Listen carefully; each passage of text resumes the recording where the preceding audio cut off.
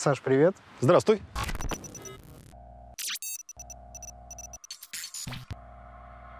Давай обозначим с самого начала. Ты сейчас инвестор и внутридневная торговля в прошлом, или ты все-таки возвращаешься периодически к, в- к внутридневному трейдингу? Я бы обозначил бы внутридневной трейдинг, не совсем скальпинг. Вот он чуть-чуть для для меня отличается. Скальпингом не занимаюсь сейчас.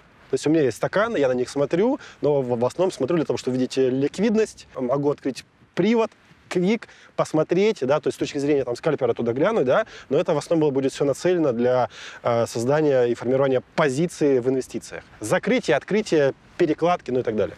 Имеет ли значение, если ты инвестор, э, смотреть за тем, что происходит внутри стакана? Нет. А зачем ты смотришь? Объясню. Э, Есть такие моменты, иногда это случается, когда ты набрал какую-то позицию объективно, и она у тебя ушла в просадку. Так. То есть у тебя сф- сформировался минус по именно конкретно этой бумаге. Ну, допустим, Сбербанк, да, то есть ты его покупал по 250, допустим, по 200, да, когда это было вот 22 февраля, да, и он упал до текущих э, э, э, значений. И ты собираешься его держать долго, там, 3 плюс лет, однозначно. Это обычный счет, это не ИС.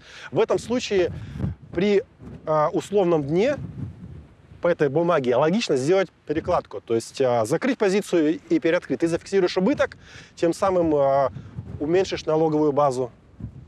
А, и если ты от того момента, когда ты сделал перекладку, продержишь еще 3 плюс лет, то у тебя будет налоговый вычет. Для этого нужно открыть стакан, посмотреть. Если у тебя бумага летает, если там нет ликвидности, ты не можешь сделать.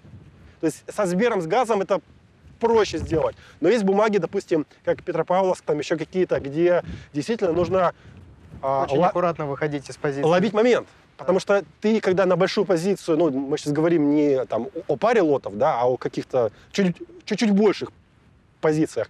Ты, ты ее закрываешь, ты сдвигаешь рынок, да, потом ты зак- заходишь, у тебя огромный спред. И нужно, чтобы, э, ну, грубо говоря, твоя перекладка окупилась в будущем. Если у тебя будет слишком большое проскальзывание, либо ты не успеешь зайти, а рынок убежит, ну, тогда ты только всех хуже сделаешь. Поэтому нужно посмотреть в привод. В каком году ты совершил свой первый трейд? Что ты торговал? А, скальпинг имеешь в виду? Да. Десятый год. 2010 год. Да, это рижка была. Физический контракт на индекс РТС. Ты начал сразу с ММВБ, получается. Я просто слышал, что а, вы торговали на тот момент э, UX. Тогда было две биржи, РТС и ММВБ. А физический индекс на РТС торговался на Мамбе, на МВБ. UX, он пришел чуть позже, как а, возможность для диверсификации торговли и движения здесь есть, движение там есть, да, и для того, чтобы обучать еще новичков. Для, для этого был UX. Потому что он стоил дешево, там, была, там были спреды, это можно было делать. Но UX пришел позже, после того, как, собственно, я, я начал торговать. Когда вот я первые сделки начал делать, э, тогда был только РТС. Это было, причем, специфическая весьма торговля. Ничего другого не было. Кто-то очень э, счастлив и рад. Довольный. Расскажи, пожалуйста, как ты узнал о трейдинге? Я до трейдинга работал в банке айтишником. То есть я когда учился, где-то со второго курса так получилось, я устроился в банк и работал на полставки именно в банке. То есть э, работал IT условно по специальности. Но когда к концу пятого курса у меня подходило ам, время устраиваться на полную ставку и уже по- полноценно заниматься тем, чем я занимался, я понял, что меня это не устраивает. Меня не устраивает а, перспектива там, вы знаете, как вы же смотрите на окружающих, да, вот как вот это все происходит. То есть, и вы понимаете, к чему вы можете прийти там к, к определенному возрасту и, времени. Я понял, потому что меня это не устраивает. Я начал искать. А что делать? Я знал только, что есть Форекс. Какой-то Форекс там на демке я сделал из 1000 долларов 40 тысяч долларов, потом все слил. Ну, ну, такая история, думаю, много кто проходил именно Форекс.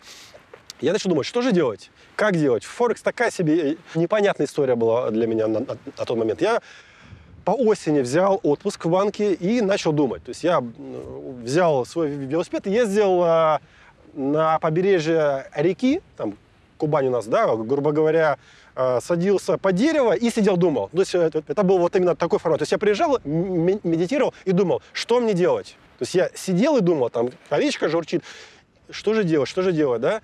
А, И в, какой-то момент после таких вот а, размышлений и медитации я приехал домой, включил компьютер, так уж случилось, открыл, э, открыл сайт, я не знаю почему, а, московской биржи, тогда он назывался, наверное, не МОЭКС, а как-то иначе. Ну, в общем, московской бирже открыл, и там где-то вот справа внизу, там, где были партнеры, то есть это вообще это не реклама была, это где-то сбоку, снизу непонятная вещь, там были компании, с кем сотрудничает московская биржа. И глаз зацепился за компанию Алап. Там. Я просто открыл эту компанию, а, и на какой-то там страничке уже внутри компании, уже на страничке Алаба, я увидел о том, что им требуются арбитражеры. То есть там не было ни про скальпинг вообще причем, там нужны были арбитражеры. Я думаю, супер, это, ну, я, я не знал, что такое арбитраж, но меня дико заинтересовала именно биржа и все, что с ней связано, тем более, если люди берут на работу и надо прийти, да. Я на следующий день э, позвонил, записался, туда пришел. А, Когда пришел туда, мы начали разговаривать э, э, с сотрудниками. Меня со- собеседовал Денис Фрелик тогда там был. А, И э, я, я так понял, что он не увидел во мне арбитражера, потому что психология немного другая. То есть тот, кто сидит за роботами, у него должна быть специфическая психика такая, да? Я, видимо, был чуть-чуть иной, то есть такой ну, какой-то а, ну, можно сказать, наверное, дерганый, можно так сказать, да, ну, э, если обобщить, да, то есть скальперы, они все такие какие-то вот более, э, более резкие, да. А, он говорит, слушай, пойди вот, вот там есть дилинговый зал, да, и посмотри как. А я, я смотрю, там а, парни сидят, что у кого-то ноутбуки, у кого-то четыре монитора, кто-то что-то делает, кто-то, м, кто-то матерится, кто-то орет. А, ну, в общем, лютая какая-то фигня там происходит. Думаю, это интересно. Я пришел, сел, тогда а, Витя Гайдук сидел, торговал. Меня подсадили к нему. Я смотрю а, о том, что у него 4 монитора, и он заработал до обеда что-то 12 тысяч рублей. А у меня было а, полставки в банке, было 10 тысяч рублей. 12 тысяч, думаю, моя месячная зарплата на полставки, вот она здесь. А, и, ну, а там что-то летает, какие-то там, э, ну, в общем, первый, первый привод, он был моно, инструментальный, без дополнительных инструментов. Только а, физический контакт на индекс РТС, здесь DAX, здесь CP500, и нефть, все тиковое, что-то летает, там что-то движется. Тут а, Борис орет, а, матерится, тут как бы Витя что-то такое. Я смотрю, думаю, офигенная атмосфера, вообще круто, мне очень нравится. Минут там 10-15 я по- посидел, все, ушел, и говорю, все, мне, мне подходит, только мне нужно две недели, чтобы уволиться и прийти к вам. То есть, ну, две недели, ну, потому что нужно было отработать. А чтобы вы понимали, туда не брали, как бы, никто не платил никакой зарплаты, ничего. То есть надо было принести свои деньги, открыть а, счет в IT-инвесте, это 25 тысяч рублей. Открыть счет в, IT-инвесте и торговать на свои деньги. Не, не в пропе, а прям вот на свои деньги в IT. все. То есть я сказал, я увольняюсь, и пришел через две недели. То есть я пришел в никуда, уволился с работы, нет никакой за- зарплаты, дома говорят, э, ну, ну, как бы, С что... ума сошел. Да, ну, да. Мягко сказать, да? Да. Ты что делаешь, да? Ну, и из уважения ко мне как бы сильно не прессовали. Сколько тебе было лет? Ну, 22 года, наверное, это было. Это как раз э, после пятого курса это было 22 года. И э, что получается? У меня было тогда 50 тысяч рублей, которые я накопил. 25 тысяч я положил на счет, и 25 тысяч у меня были для того, чтобы ездить э, в офис, кушать там э, на проезд и так далее. Прошло как, какое-то количество времени, наверное, ме- месяца 4. У меня закончились деньги, я перестал ездить на машине, потому что уже не было денег на бензин. Я ездил уже на трамвае. У меня следующий вопрос был про то, э, почему проп-трейдинг, а не личный счет, но он отпадает. Потому что в 2010-м, получается, еще не было проп-трейдинга. Там был э, личный счет со своими деньгами, с А подключенным какой туда. интерес был тогда для компании, в которой вот тебя взяли для офиса? Ну, там какая-то комиссия, скорее Ты что-то платил, да, получается? Н- Нет, ну ты ничего не платил. Открываешь а, какой-то счет у брокера по реферальной ссылке. Все понял. А, хорошо. Скажи, пожалуйста, ну, ты, наверное, отчасти уже ответил, но вопрос такой. Что мотивирует молодого человека а, торговать именно внутри дня, а не выйти на какой-нибудь более а, широкий э, таймфрейм, среднесрочный, долгосрочный? Почему именно торговля внутри дня интересна молодому человеку? Быстрый старт, а, больше шансов а, начать зарабатывать, больше аудитория зарабатывающая. Потому что я лично очень мало знаю людей, почти не знаю, которые зарабатывают большие деньги. Вот если брать, как вот скальперы зарабатывают большие деньги, я думаю, вы же не сомневаетесь в том, что скальперы зарабатывают большие деньги. Ну, все относительно, но условно большие, да? Потому что вот подобные большие деньги зарабатывают люди в долгосрочном таймфрейме. Ну, я имею в виду вот там свинг-трейдинг, да, а, трейдинг внутри недели с переносами. Не знаю таких историй и Не кейсов. знаешь? Особ- ну, особенно если человек пришел без ничего, у него нету денег, да, и он начинает с нуля. То есть очень сложно. Очень мало таких примеров, очень мало их. Ну, э, я могу ошибаться, да, сейчас, может быть, они появились там, особенно если это связано с, с криптой, однозначно они появились. Но если мы говорим про чистый скальпинг и а, торговлю на акциях и фьючерсах, без каких-то историй, там, как после 2020 года было, или даже после 2018 года э, с криптой, да, то этот процент очень был маленький. Плюс для того, чтобы сделать старт, так как там нету пропа, а, тебе нужен больший капитал. А если ты молодой а, парень, у которого нету денег, откуда у тебя деньги? Ну, то есть э, замкнутый идет круг. Поэтому скальпинг, с моей точки зрения, для старта, особенно если человек а, молодой, это идеальный вариант. Ну, Вот, вот, вот это прям идеальный вариант. Если вы хотите научиться торговать на московской бирже или на крипторынке, то проходите по ссылке в описании на сайт logcap.ru, там нажимаете кнопочку «Стать трейдером» и оставляете заявку. С вами свяжутся либо посредством а, почты, либо звонком по телефону.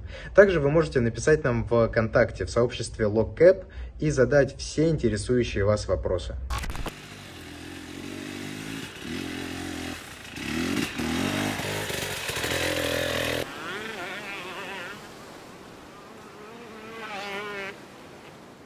Саш, где мы находимся? Где-то в лесу, где-то в полупроходимом лесу. Ты здесь первый раз Нет, или вы здесь уже катались? Здесь не первый раз. Мы периодически ищем локации, где можно покататься Вот недалеко. Слышно, от что там уже кто-то. Да, это кто-то вот едет на, на двухтакнике да, в горах. Давно в ты уже катаешься? Ну, На- Да, пару лет. Все эти пару лет ты уже стал профессионалом в этой области? Совсем нет. нет. Совсем нет? Всегда есть места, куда сложно заехать, практически невозможно заехать. Но в этом и вся фишка, что а, ты берешь, пробуешь, у тебя не получается, ты падаешь, ты страдаешь, ты кричишь, но в итоге там как бы как-то ты туда добираешься, и потом возвращаясь обратно домой, ты кайфуешь, потому что ты это все-таки сделал. Откуда появилась эта страсть к мотоциклам? Последний раз, когда мы с тобой а, торговали в одном офисе, у тебя этого не было. Вы такие собрались с друзьями и... а, а давайте будем на мотоциклах. Ну, когда, собственно, фокус на скальпинг чуть-чуть поутих, Так. то есть там был такой период времени, да, начал искать хобби, чем можно заняться в целом. А, там, мотоцикл для города это один формат. И мне предложили, давай съездим в горы на эндуриках. То есть там было на прокате. Я там устал просто в конец, у меня все болело, я страдал. Но потом понял, что мне это очень нравится. То есть именно нравится преодоление. На тот момент ты взял в прокат? Ну, Конечно, да. То есть я раз Покататься. наверное, 10-15 брал в прокат. Мгм. Когда понял, что это мое, купил один мотоцикл. Когда понял, о том, что это совсем мое, потом уже купил этот мотоцикл. Он чуть просто чуть-чуть подороже там. Кто-то из друзей тебя подтянул в эту историю? Один, да, да, да. То есть у меня есть товарищ хороший Саша. То есть мы с ним вместе поехали, а потом уже я начал вклиниваться еще и в другие компании, которые тоже такие же больные на всю голову люди, которые готовы ехать и страдать куда-то в горы, в лес. Но ведь э, кайф же, то есть природа, э, ты вроде как преодолеваешь себя, но в то же время ты на природе. То есть ты не гуляешь ногами, то есть ты едешь, ты можешь проехать большее количество километров, метров, э, чем ты пройдешь пешком, плюс есть определенные, ну, по кайфу. А сколько такой мотоцикл стоит в нынешних реалиях? Вот этот? Да. Это- плюс-минус. Это нужно говорить? Ну да, хотелось бы. Ну, конкретно вот этот новый, ну, 1,2 стоит. 1,2 миллиона. Ну да. Кроссовый мотоцикл. Ну, есть дешевле, да, с учетом текущего дефицита, они там продаются и за полтора, да, с текущим курсом они стоят, э, если покупать, если получится купить где-то в Австрии, да, напрямую, они будут стоить там 800. А, их из Австрии везут. Ну, а, их из Европы везут. Ну, вот э, конкретно вот этих, да. Ну, сейчас, сейчас тогда вообще не купишь такой.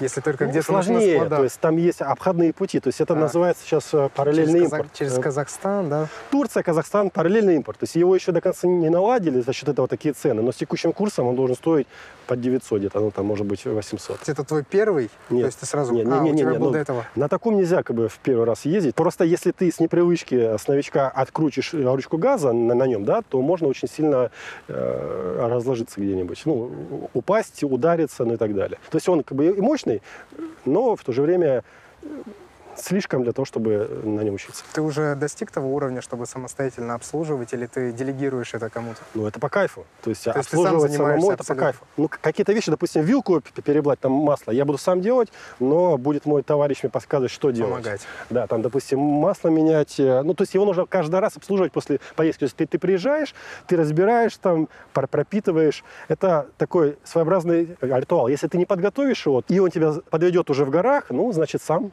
сам виноват.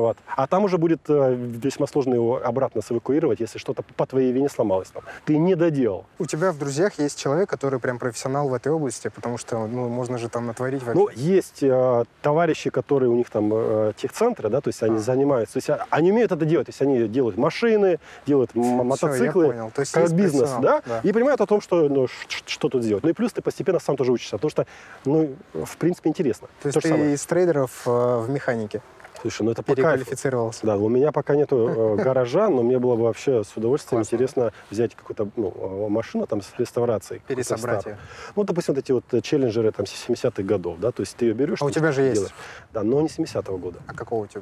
Ну, он свежий, это А, 19 свеженький. года, да. Ну, а вот то, что, да, там нужно его отшкурить, там, покрасить, там, э, разобрать, это прям, прям интересно. Но, но это следующий этап, потому что сейчас нет такой пока возможности физически. Ты пересчитывал, сколько стоит э, техобслуживание? Ты же покатал, тебе надо, наверное, там что-то подделать, переделать. Сколько стоит в месяц обслуживание такого мотоцикла? Смотря как ты ездишь, э, насколько активно. Потому что ты можешь один раз поехать Ну, у тебя, например, и разбить его можешь. То есть его суть этого мотоцикла, ну почему он столько стоит, чтобы он выживал в лютых местах. То есть чтобы он падал об камни, бился там об деревья и так далее. И чтобы чтобы он минимально мог сломаться. Ну, то есть э, будем так говорить, да, там. Но если про расходник идет речь, то покрышка стоит, но сейчас в текущих санкционных условиях за десятку она стоит. А покрышка стирается ну, за 50 где-то моточасов, а то и меньше. То есть это ну, за пару месяцев она может достаточно долго, на, на мой взгляд, нет? за пару месяцев, Да. а на мотоцикле для города она там может быть несколько лет ходить. Покрышка для машины сколько ходит? Много. Много ходит, вот то же самое. Но тут она... Ну, хорошо, ты пересчитывал, сколько тебе обходится? Нет, не считал. Нет необходимости и потребности в этом. Не, ну, все условно, да, то есть если движок стуканет, да, ну, допустим, то есть там как бы будет э, сумма там 50-100 тысяч, да, но суть в том, что его обслуживать и менять масло для того, чтобы этого не случилось. Ну, то есть все, чтобы шло по регламенту. Если вдруг с ним что-то случится, ну, это будет стоить э, в копеечку. Однозначно.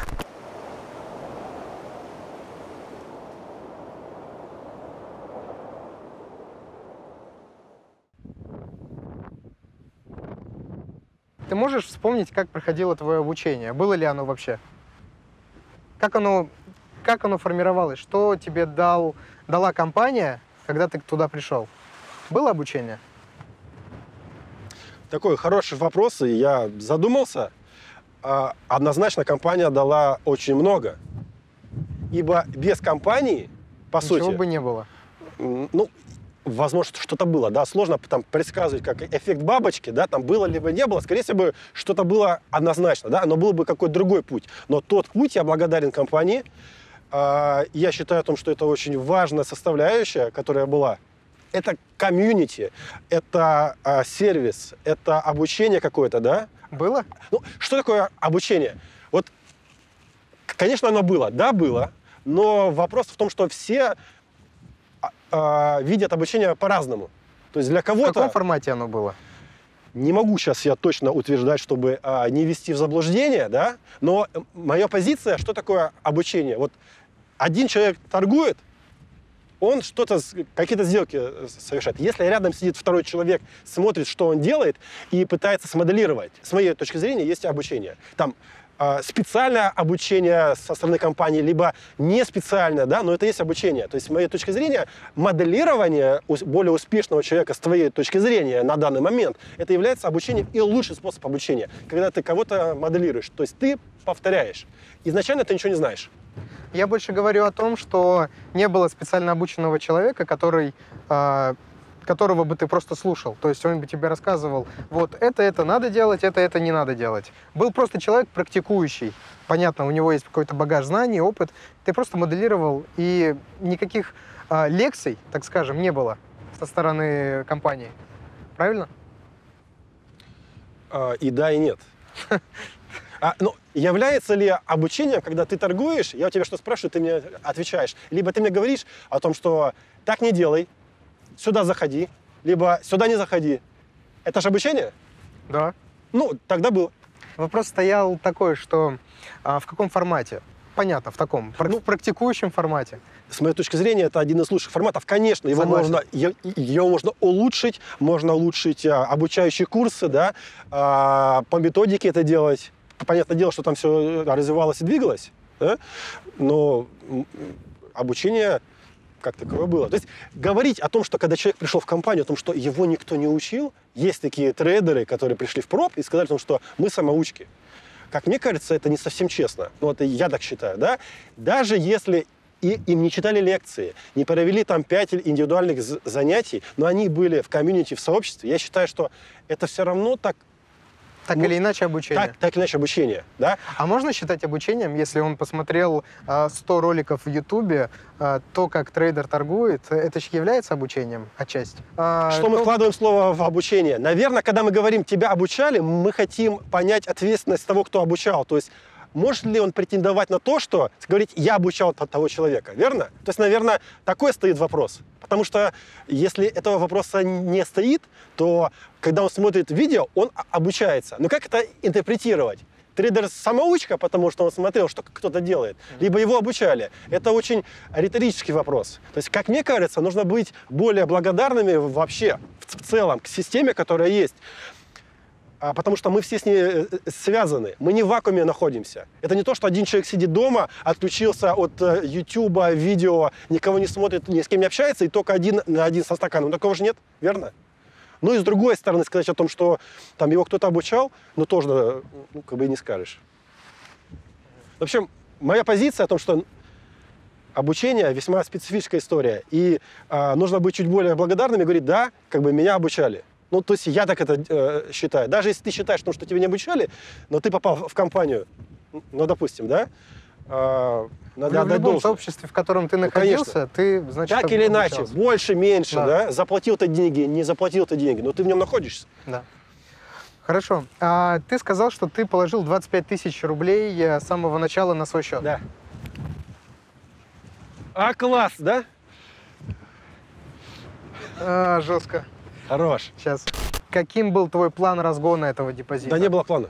Ну, как-то ты Ну, пришел... возможно, ты для себя как-то А- потом спустя время сформировал то, как и ты должен действовать там изо дня в день, зарабатывать там какую-то копеечку, чтобы Ну, твой счет Там рос. была история такая, то есть 25 тысяч рублей положил, да, из которых а, слил, ну, потерял, наверное, тысячи три, три с половиной. То есть вот, э, если говорить из этих 25, там осталось где-то 21-22. Потом появился проб. То есть это было довольно быстро. И в проб а, положил 5 тысяч рублей. 5. 5. Так, с 5 тысяч ты начал, можно сказать. Да, то есть там было 5 тысяч рублей, там была просадка до, до 3, там, ну вот, как бы небольшая просадка. И с того времени ничего в проб не заводилось больше. Мгм. То есть вот, вот эти 5 тысяч рублей, то есть 25, там была просадка в пару тысяч рублей, да, потом 5 тысяч рублей, слив там пару тысяч, и потом пошел постепенно рост. Вот и в этом вопрос. Как пошел этот рост? То есть, что ты делал, по, по какому принципу у тебя рос этот депозит? А, был, был, был ли какой-то план того, сколько тебе нужно Да. заработать за день, за месяц, за неделю? Первая точка была, я сейчас не буду говорить точно, потому что я вот прям не, я, я не помню, да, но в целом первая цель была 100 тысяч рублей, с которых я смогу что- что-то снять. Ну, то есть для того, чтобы почувствовать о том, что вот я, я работаю, да, но хотя бы что-то я делаю. А, был, естественно, риск и money management. А риск на день был 300 рублей у меня.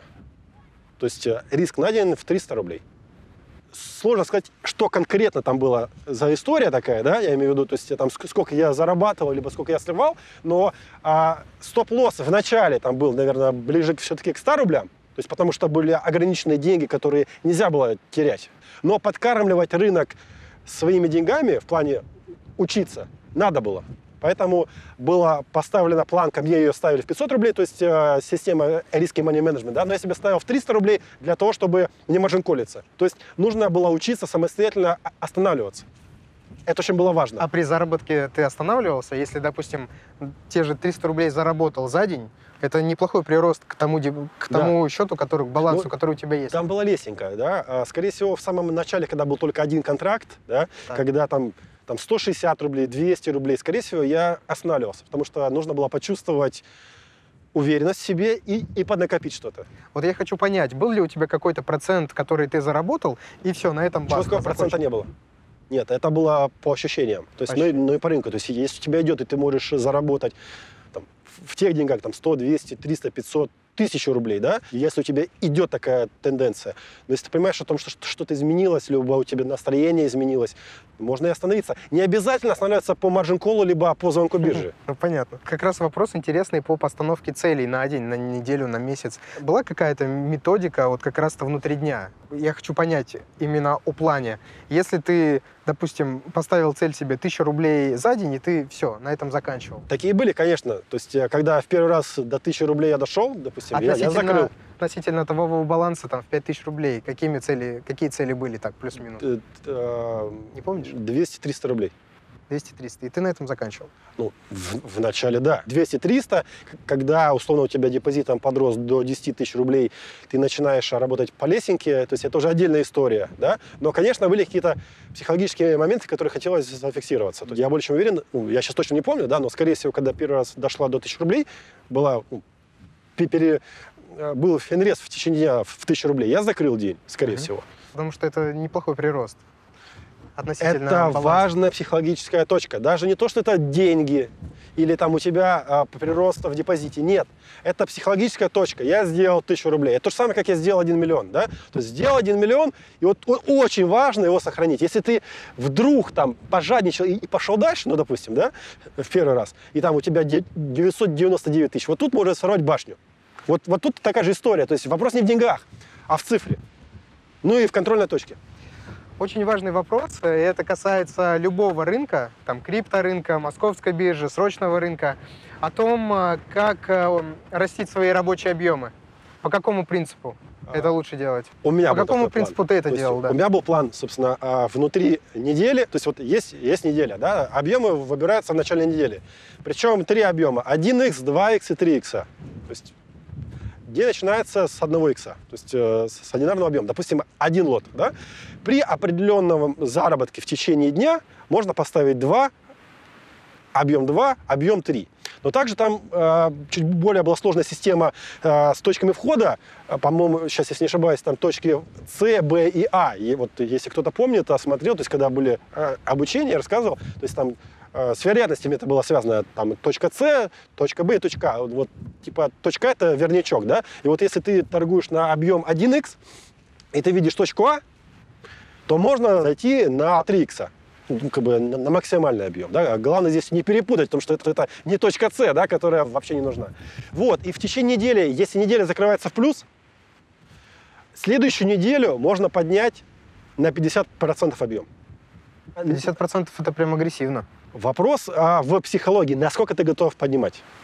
А что касается классификации вот этих сделок, э, э, ты их сам для себя сформулировал? Ну, когда как-то? я Это занимался- зависит от риска? Когда я занимался обучением, Да. надо было как-то человеку объяснить. То есть не то, что там тупо вот ты зайди здесь, вот здесь, вот здесь. Это не работает, и нельзя так человека на- научить. Ну, вот эта классификация, она привязана к риску в сделке? Вот. Сколько пунктов? А, сейчас объясню. То есть, ну и, и для того, чтобы была возможность объяснить человеку, в каку- куда надо зайти, а куда не надо заходить, Да. да, а, была классификация. То есть, э, ну, с моей точки зрения, на три категории. С, Б и А. С – это вероятность 50 на 50. Ну, то есть 50 пойдет, 50 не пойдет, да, то есть вот, ну, если закрыть э, а, глаза и делать сделки случайным образом, то, скорее всего, у тебя будет сделки 50 на 50, а, но комиссия и, и- и психология тебя сильно утянет в минус, да, то есть такие сделки не нужно делать вообще. Сделка формата B, когда у тебя вероятность условно 60 на 40 в твою сторону против тебя, и ко- коэффициент э, доходность риск э, 1 к 4. Он может плавать там 1 к 3, 1 к 4 в этом формате, но если брать там индекс РТС, то есть была задача взять 200 пунктов по индексу РТС еще тогда, со стопаком в в 50 пунктов. То есть это вот э, сделки были формата B. То есть если делать статистические сделки формата B, то ты будешь зарабатывать. Если ты не будешь туда а, подмешивать э, сделки формата C, да? Ну и периодически там будут э, возникать A-сделки, где у тебя вероятность а, 90 на 10 в твою сторону против тебя и риск доходности 1 к 10. Например, максимально короткий стоп, там 20 Да, пунктов, да. и 200 пунктов те самые, которые ты можешь себе забрать, например. Не совсем так, потому что если 20 пунктов, э, и если это не, не верняк, и там нет еще определенных факторов дополнительных, да, то, ну, ну, то есть это не значит, что если у тебя была формат, э, сделка формата B, когда ты заходишь от, на, от 50 пунктов и берешь 200, это B, а если ты в этой же ситуации зайдешь от 20 пунктов от этого стоп-лосса и возьмешь типа 200, что-то будет A, нет. Это разные истории. То есть это так и останется B. То, что там либо плотность, либо еще что-то, да, но в зависимости от того, на что ты рассчитываешь. Ее снимут, уберут, проедят, и ты там возьмешь не 20 пунктов лося, а 200 пунктов лося, да, то есть это B. A — это совершенно другая история. Это типа верняка, там, темы и все остальное. И это наше восприятие. А невозможное возможно. Это факт. Ну, вот, вот, вот, вот сто процентов. Я знаю точно.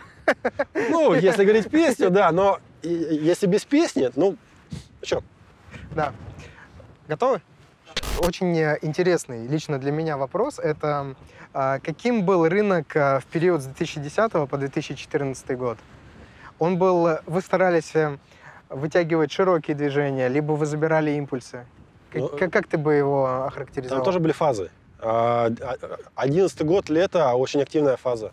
Когда вот был CCH в Геленджике, мы торговали там для... Ну, то есть там была битва трейдеров, да, и мы торговали для для благотворительности, да, и вот там как раз-таки были истории, по-моему, с Пиксом в, в Европе, то есть волатильность тоже была, были всплески. Вот 13 год был прям тухлячок, тухлячок.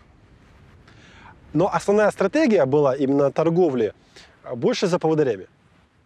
Вот 10 наверное, до 12 года это больше было торговля за поводырями. Как это выглядело? Торговля у, у тебя э, основной стакан индекса РТС, фьючерсного контракта, справа, слева, где удобно, там, по, по углам. А, тиковый график нефти, тиковый график ДАКСа, особенно вот в 2010 году это было прям очень актуально, в начале 2011 года, да. Минутный график CP500, потому что там шаг был 25 центов, то есть он э, ну и, собственно, ты торгуешь за вот этими всеми историями, как обезьянка. То есть у вас было там три поводыря, и вы торговали один инструмент и да. фьючерс на индекс РТС? В стакане у тебя тиковый, а потом ну, мы, мы туда добавили тиковый график индекса ММВБ и доллар. Если пошел сильно бакс в какую-то сторону, кому-то не понравилось, да? А, должен переоцениться а, индекс на фьючерсный контракт на индекс РТС. Но движения будут рваные, дерганные. А вот если пошла мамба, да, то движения более плавные. То есть там как бы своя специфика была торговли. Но в какой-то момент после сейчас точно не помню, но вроде как после 2012 года а CP500 и индекс наш, они начали идти в разные стороны, и раскорреляция ушла. То есть очень быстро а, мы начали убирать там, что CP500, что, э, что, э, что DAX, а, а потом оставили нефть там минутку, пятиминутку. То есть э, постепенно все это дело трансформировалось. То есть вы достаточно долгое время были моноинструменталистами, торговали один инструмент, РТС. А в какой момент вы перешли на фондовый рынок? Начали торговать его? Акции, да, наверное, имеешь в виду? Да. Ну, это было до 2014 года однозначно. То есть начали ну, это понятно. акции. Но вот там... я хочу понять, в какой период, с 10 по 14 Год не помню, ну, 12-13, вот в этом диапазоне. 12-13 год. Там в основном на этом рынке учились новички, которые приходили, потому что очень маленькие просадки можно было делать, там 10 рублей условно, да, и э, с небольших денег, э, по сути, если там, компания дала человеку 100 рублей, ну, допустим, как-то, да, то э, можно было очень быстро просто э, развиться.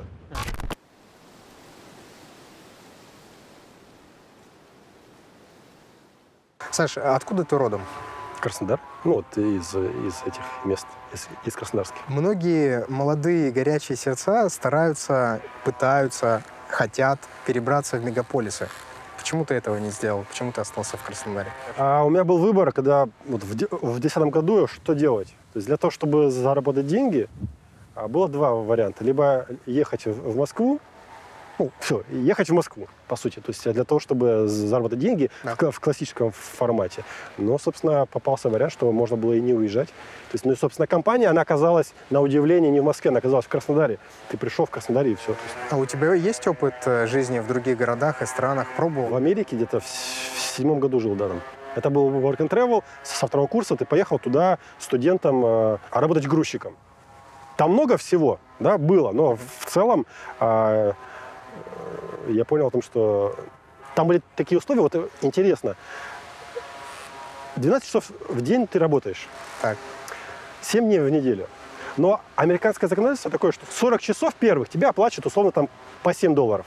А вся переработка свыше 40 часов в неделю тебе платят в полтора раза больше 11 долларов с- с половиной. И а, весь основной заработок получается от переработки. Ага. То есть как бы а, создают такие условия, чтобы ты работал постоянно. Работал и работал. А Работал и работал. То есть ты можешь взять отпуск, отдых, пойти там а, в кино сходить, как кайфануть и отдохнуть, но, допустим, я этого ни разу, то есть я ни разу не взял на, на протяжении 100 дней, а, ни разу не взял а, выходной день.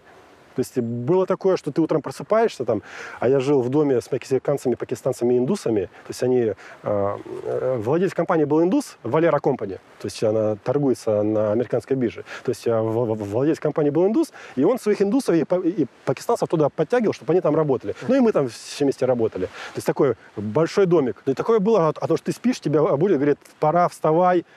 А вот там все расписано у тебя, то есть ты должен проснуться, постирать, приготовить еду и пойти на, работу. А тебя разбудили на 5 часов раньше.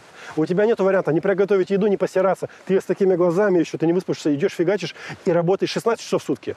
И так каждый день, то есть 12-16. Но вся фишка в том, что держали деньги, которые можно было заработать. То есть там был доход от 1000 долларов в неделю. Это был 2007 год. То есть Ой, это очень хорошие ты, деньги.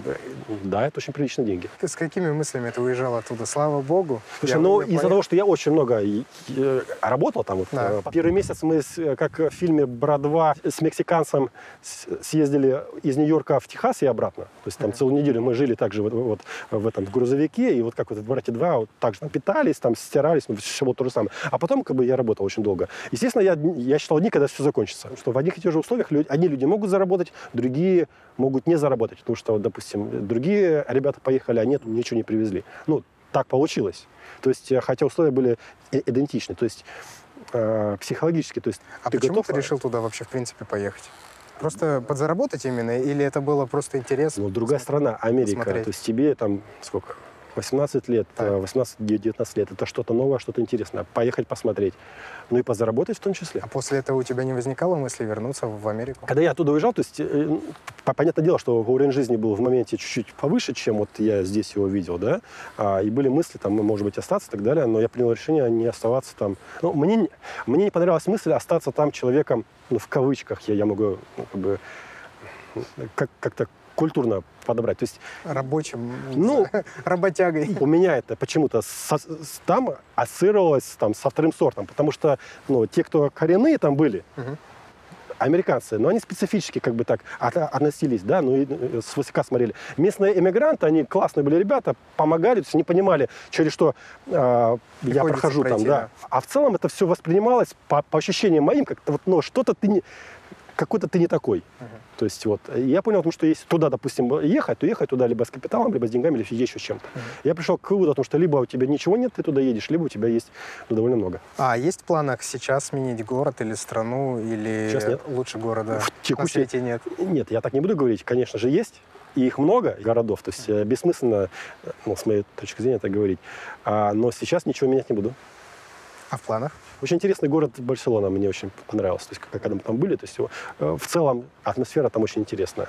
Что-нибудь там итальянское, как бы в небольшой де- деревушке. Но, Ты туда это- ездил просто или... ну, у нас же был Евротрип, мы из Краснодара выехали на машине, до- доехали до Лиссабона и вернулись обратно. То есть ш- 16 тысяч километров мы проехали на машине, а, на паромах чуть-чуть по- поравнялись, ну и увидели чуть-чуть Европу изнутри. а с кем ты ездил? Э, С Сашей ездил. А это с тем другом, который тебя в эндуро и завлек? Ну, да, да, то есть э, мы то, что, да, он говорит, поехали. Он так, э, поехали. И сколько за это заняло по времени? Месяц. 16 тысяч? Месяц. Месяц. Месяц. 23 страны месяц. Обалдеть. Но Ты- это было бы- очень Ты бы хотел повторить? Э, Или нет? Слушай, ну, это был интересный experience, но уже не по Европе, то есть а в какую-то в другую историю. А советовал бы попробовать? Конечно. Но это, ну, это непросто. Вот именно в таком режиме это очень непросто. То есть э, были такие дни, что мы проезжали там по 1300 километров в день. То есть такое было. То есть это не семейная история, с семьей туда лучше не А, соваться. с семьей, да, но нужно а, разбавить интенсивность. За два месяца, например, да, это все проехать? П- Почему нет? Это можно, но нужно подготовиться. С маленьким ребенком, допустим, там... ну, что ты имеешь в виду под подготовиться? Это что, что нужно сделать? Деньги, Мгм. а, машина, вещи. Сколько вы потратили, если не секрет, за это? Да, не секрет. По-моему, до 300 тысяч на человека. То есть, Из которых половина была на бензин, а, на дизель. А в каком это году было, чтобы В понимать 2019 году. по курсу? А, ну то есть это Ну вот, это, плюс-минус это свежая деньги. история. 300 тысяч на человека. Ну, это до 300 тысяч, причем там мы себе не, не, особо в чем-то себя отказывали, да. Мы жили довольно скромно, но в целом э, больше половины шло именно на дизель. Мы на дизельной машине ездили. То есть и, и это благо. Если ездили на такой же, на бензиновой, ушло бы в два раза больше.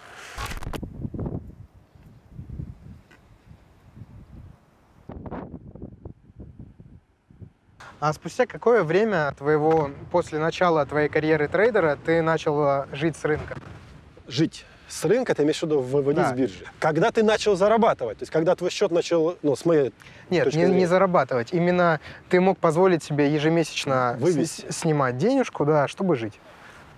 Спустя какое время после старта? осенью 2010 года началась моя торговля, да, именно Да. на бирже, то к 2011 году, вот как раз-таки к лету, июль-август был первый рекордный месяц такой, когда, ну, по-моему, вот либо июнь, либо июль был плюс 50 тысяч рублей за месяц было, то есть как бы это уже много было.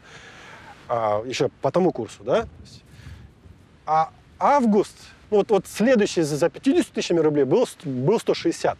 И это был прям, вот я помню, это был э, очень хороший, достойный результат э, за месяц. Такой э, рекордик был, да, который уже можно было что-то снимать, делать.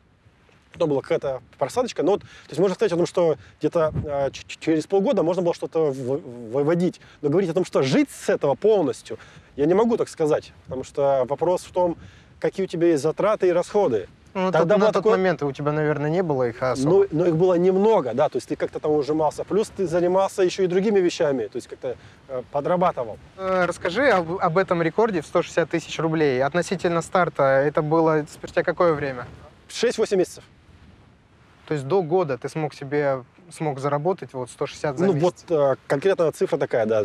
По тому курсу это прям очень хороший результат. Можно сказать, в два раза больше, чем сейчас. Были большие движения, как раз-таки вот это вот была история, связанная э, с, с Европой, да, с волатильностью, которая была там. То есть были хорошие движения, где можно было взять. Потом был спад волатильности и доходы упали. Относительно старта, свои первые 10 тысяч рублей ты когда смог 10 тысяч заработать? рублей? 10 тысяч рублей за день. Относительно старта, да. Не могу сказать.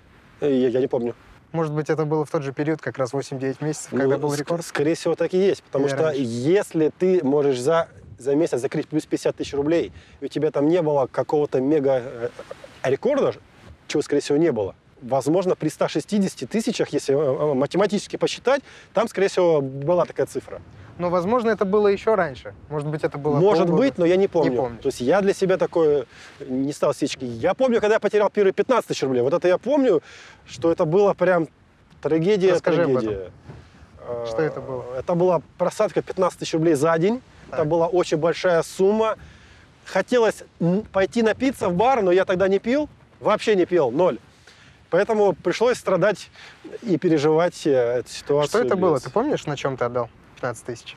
Ну, возможно, какой-то тильт, еще, либо еще что-то. Так не такое. помнишь. То есть это не какая-то одна спонтанная сделка, это Нет, скорее всего, нет. набор. А помнишь вообще свой самый жесткий трейд, э, убыточный? На чем это было? Сколько отдал? А, да, этот э, вечер а, просто был потрясающий. Если мне, не- если мне не ошибает память, мне приходит только одна вот такая история, да. Если кто-то помнит что-то иное, ну, вы не обессудьте, я помню только это. Вот и, и там а, была история, связанная э, с Сишкой, э, с крутяшом. То есть она была связана, да, когда там ты сидишь, следишь, ждешь, и вот а, Расскажи немножко о том, что это за крутяж. Алгоритм? Так, в двух словах, да, может да, быть. Да, да, Э, При определенном таймфрейме у крупного фонда формируется сигнал к покупке у крупного фонда. Там, допустим, у него 200 тысяч, э, 200 тысяч фьючерсных контрактов на сишку. Пробивается определенный уровень за какой-то таймфрейм, срабатывает триггер на покупку, и э, этот фонд начинает входить. Так как он не может зайти единоразово, поставить 200 тысяч, ну хотя и такое было, да, он начинает там по определенному ал- алгоритму входить. Если ты следишь за стаканом, ты наблюдаешь стакан, смотришь, когда какие-то были резкие большие движения, то можно, грубо говоря, вычислить. То есть его можно вычислить, а, запомнить и как-то условно понять его алгоритм. Да. То есть, ну и, грубо говоря, его ждать в каких-то узких местах, да, там, при каком-то таймфрейме. Соответственно, тот день. все уже вечер, а, закрытие биржи, я поехал домой, сижу, отдыхаю. А, ко мне пришли друзья где-то около 9 вечера, ко мне в квартиру, там при- принесли кальян, посидим, отдохнем. Это было в, там, в километре от офиса. И тут э, я понимаю о том, что вот как бы ситуация намечается, вот, вот что-то схожее такое, а там еще и ФРС был, то есть все в одно, да, то есть узкий диапазон, ФРС, ставка, а, по-моему, по, баксу, да, и надо ехать в офис к 10 часам. Я говорю, пацаны, посидите дома, покайфуйте, я сейчас приеду. Я взял машину, приехал туда, а разнесло меня просто в такие сопли там, а, просто в сопли. То есть а, там была лютая волатильность, да, лютые движения, какие-то выстрелы, ну, какие-то проскальзывания. В общем, я дал там, по-моему, около 600 тысяч рублей. Ну, там 500-600 тысяч в этом диапазоне. А, я, конечно же, веселый, жизнерадостный, по- поехал домой, приехал домой, еще ударил машину об столб, то есть там ее помял, да, но а, с точки зрения масштаба по- повреждения счета и машины, это никакие сравнения и не шло, да, то есть, ну, как бы, ну, ударил машину, погнул там а, крыло, фи- фигня вопрос, да, а вот то, что ты там отдал эти деньги, ну, вот, вот такая вот история была, да. Слушай, сейчас будет эксклюзив. Была такая ситуация на МТС. Объявили дивиденды, и там было пару планок. Сразу с открытия Да, планки, видел. потом следующая планка. И вот на третьей планке, по-моему, там ее прижали. Я загрузился а, на 5000 лотов. Хороший объемчик. Очень хороший объем. И а, допустил просто непростительную ошибку, отвлекся на сишку. В момент, когда планка была. И я пока набирал эту позицию, хорошая цена была. а, в планке стою, думаю, прижали, хорошо, там 50-60 тысяч. В итоге начинает разъедать эту плотность. Я в сишке, пока занимаюсь ей, пот- потому что думаю, сейчас, Ну сейчас расширят, сейчас как полетим. Мгм. Не успеваю закрыть 5000 лотов. Вката не происходит. И меня так размазюкало на 600 тысяч. Это тоже был мой самый... Пока это самый рекордный минус в карьере на ММВБ. Такие истории с, с планочками, они довольно у меня тоже были частые. Ну, то есть а, тут вопрос только в объеме, который ты зашел, Да. и а, в пустоте стакана. И, то есть э, сейчас же на московской бирже чуть-чуть ликвидность Ликвидность стала меньше И гораздо. 5 тысяч закрыть, ой, как непросто. Очень- Очень непросто. Да, да. И я, конечно, тогда... Да. А, расскажи, пожалуйста, о своем самом прибыльном трейде. Что это было, на чем это было? Сишечка это была, сишечка. Аналогичная ситуация с крутишом? Да, да, да, была аналогичная ситуация. Расскажешь об этом? Почему нет, да? А, ну, ты заливаешься, ты заходишь на большой объем, заходишь, заходишь. Каким объемом ты работал? Что там было, по-моему, 10 тысяч. 10 тысяч контрактов на фьючерс на Си. Да. Ну, На, на там, доллар-рубль. э, Ладно, так скажу, от 5 до, до 10 тысяч вот в этом диапазоне, да. Просто последние события инвестиционного мира, они чуть-чуть как бы стерли э, слегка мою память от того, что было там, да. То есть они преуменьшили важность того, что было там, поэтому я точно не помню, но 5-10 тысяч, но у меня даже видео есть, то есть Э, Скинешь ссылку или как-нибудь? Мы его Давай, сюда вставим, да, быстренько показать, как это было. А сколько получилось заработать? М, Что там, э, миллион триста был.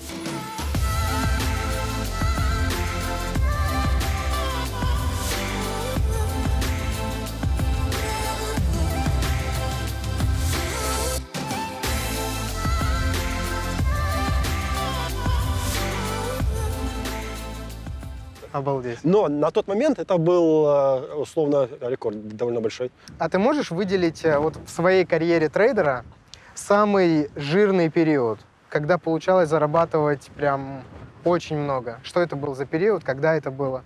Ну, На а, чем это было? Если говорить про длительный период, то это 14 год плюс. Мгм. Ну, то есть это 14 год плюс. Вопрос... То есть э, вот со во- всеми экономическими, политическими ситуациями? И- Да, я бы рассматривал бы здесь не в абсолютных э, величинах. Ну, тут, Да. тут можно подойти и в абсолютных, и в относительных. То есть э, в относительных самый такой мощный переломный это 14 год. Там 14 15 наверное, 16 года. Это такие прям переломные, да? То есть кризисное время было самое Но, интересное. в принципе, любое кризисное время Да. всегда, всегда Для внутридневного трейдера, надо пометить. Наверное. Ну, наверное, да. В целом, ну, если не вдаваться в подробности, да. Вот, это самый большой там доход, потому что есть волатильность, а, крупных участников там под нож пускают, да, в, в кавычках, а кто-то теряет деньги, а скальперы там сидят и гореют ручки. И если у них по- получается, и есть техническая возможность и капитал, то можно очень многие вещи сделать там. По- Потому что в начале 2014 года, допустим, да, там, когда валюта летала, когда Центральный банк интервенции делал, если есть техническая возможность, была, там просто люди заработали очень много денег. Очень много. Это означает там намного больше, чем все те, кто ну, как вот, там... Расскажи подробнее об этом. Что они, на чем можно было заработать? Что происходило?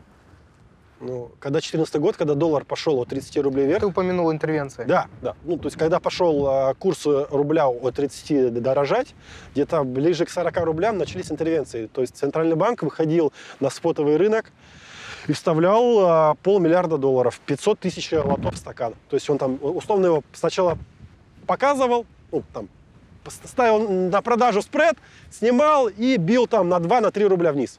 То есть, даже если ты не шортишь, когда он ударил 500 тысяч лотов, понятное дело, что там такой спрос, все его выкупают, то есть ты берешь и заходишь. Но а, если у тебя есть возможность и капитал это сделать, ну, вы понимаете, что можно было сделать, когда у тебя сишка улетает на 2-3 тысячи пунктов, и ты можешь залить любой туда объем, не бояться, и буквально через, ну, там, от пары минут до, до часа, да, у тебя был прирост в пару тысяч пунктов, то есть там колоссальные деньги. Но у нас их не было, потому что э, технически как бы э, было, мы были не готовы к этому.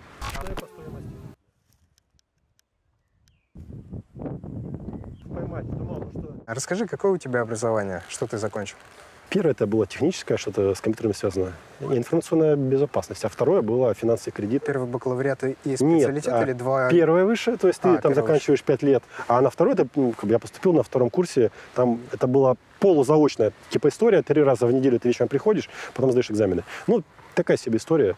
Зачем, непонятно. А во время учебы соприкасалось ли вот твое обучение, образование с фондовым рынком? И Возможно, были какие-то Финансы предметы? кредит, там, там были темы про акции, но это все теоретическая история. То есть, когда, когда тебе рассказывает э, хороший учитель, но теоретик, да, Так. но ничего э, полезного для жизни оттуда сложно э, вынести. Ну, по крайней мере, я, я так это увидел. То есть, нужно, чтобы человек был погружен практически в историю. Если он теоретик, это не работает. Скорее всего, что-то я туда вытащил, но основная вся информация, она была а, почерпнута из рынка, из книг, когда надо было это делать. Ну, допустим, такая книга есть э, Буренина «Фьючерсы, опционы, экзотические производные». Очень классная история. И вот когда я ее читал, вот это было где-то в 2011 году на зимних каникулах. Ты уже начал заниматься. торговать. Да, то есть я, ну, я хотел я разобраться, а как это все работает, почему арбитраж работает, почему у фьючерсов есть контанга и бэквардация, ну, то есть что такое, что такое опционы. Я, когда читал эту книгу, я понял, для чего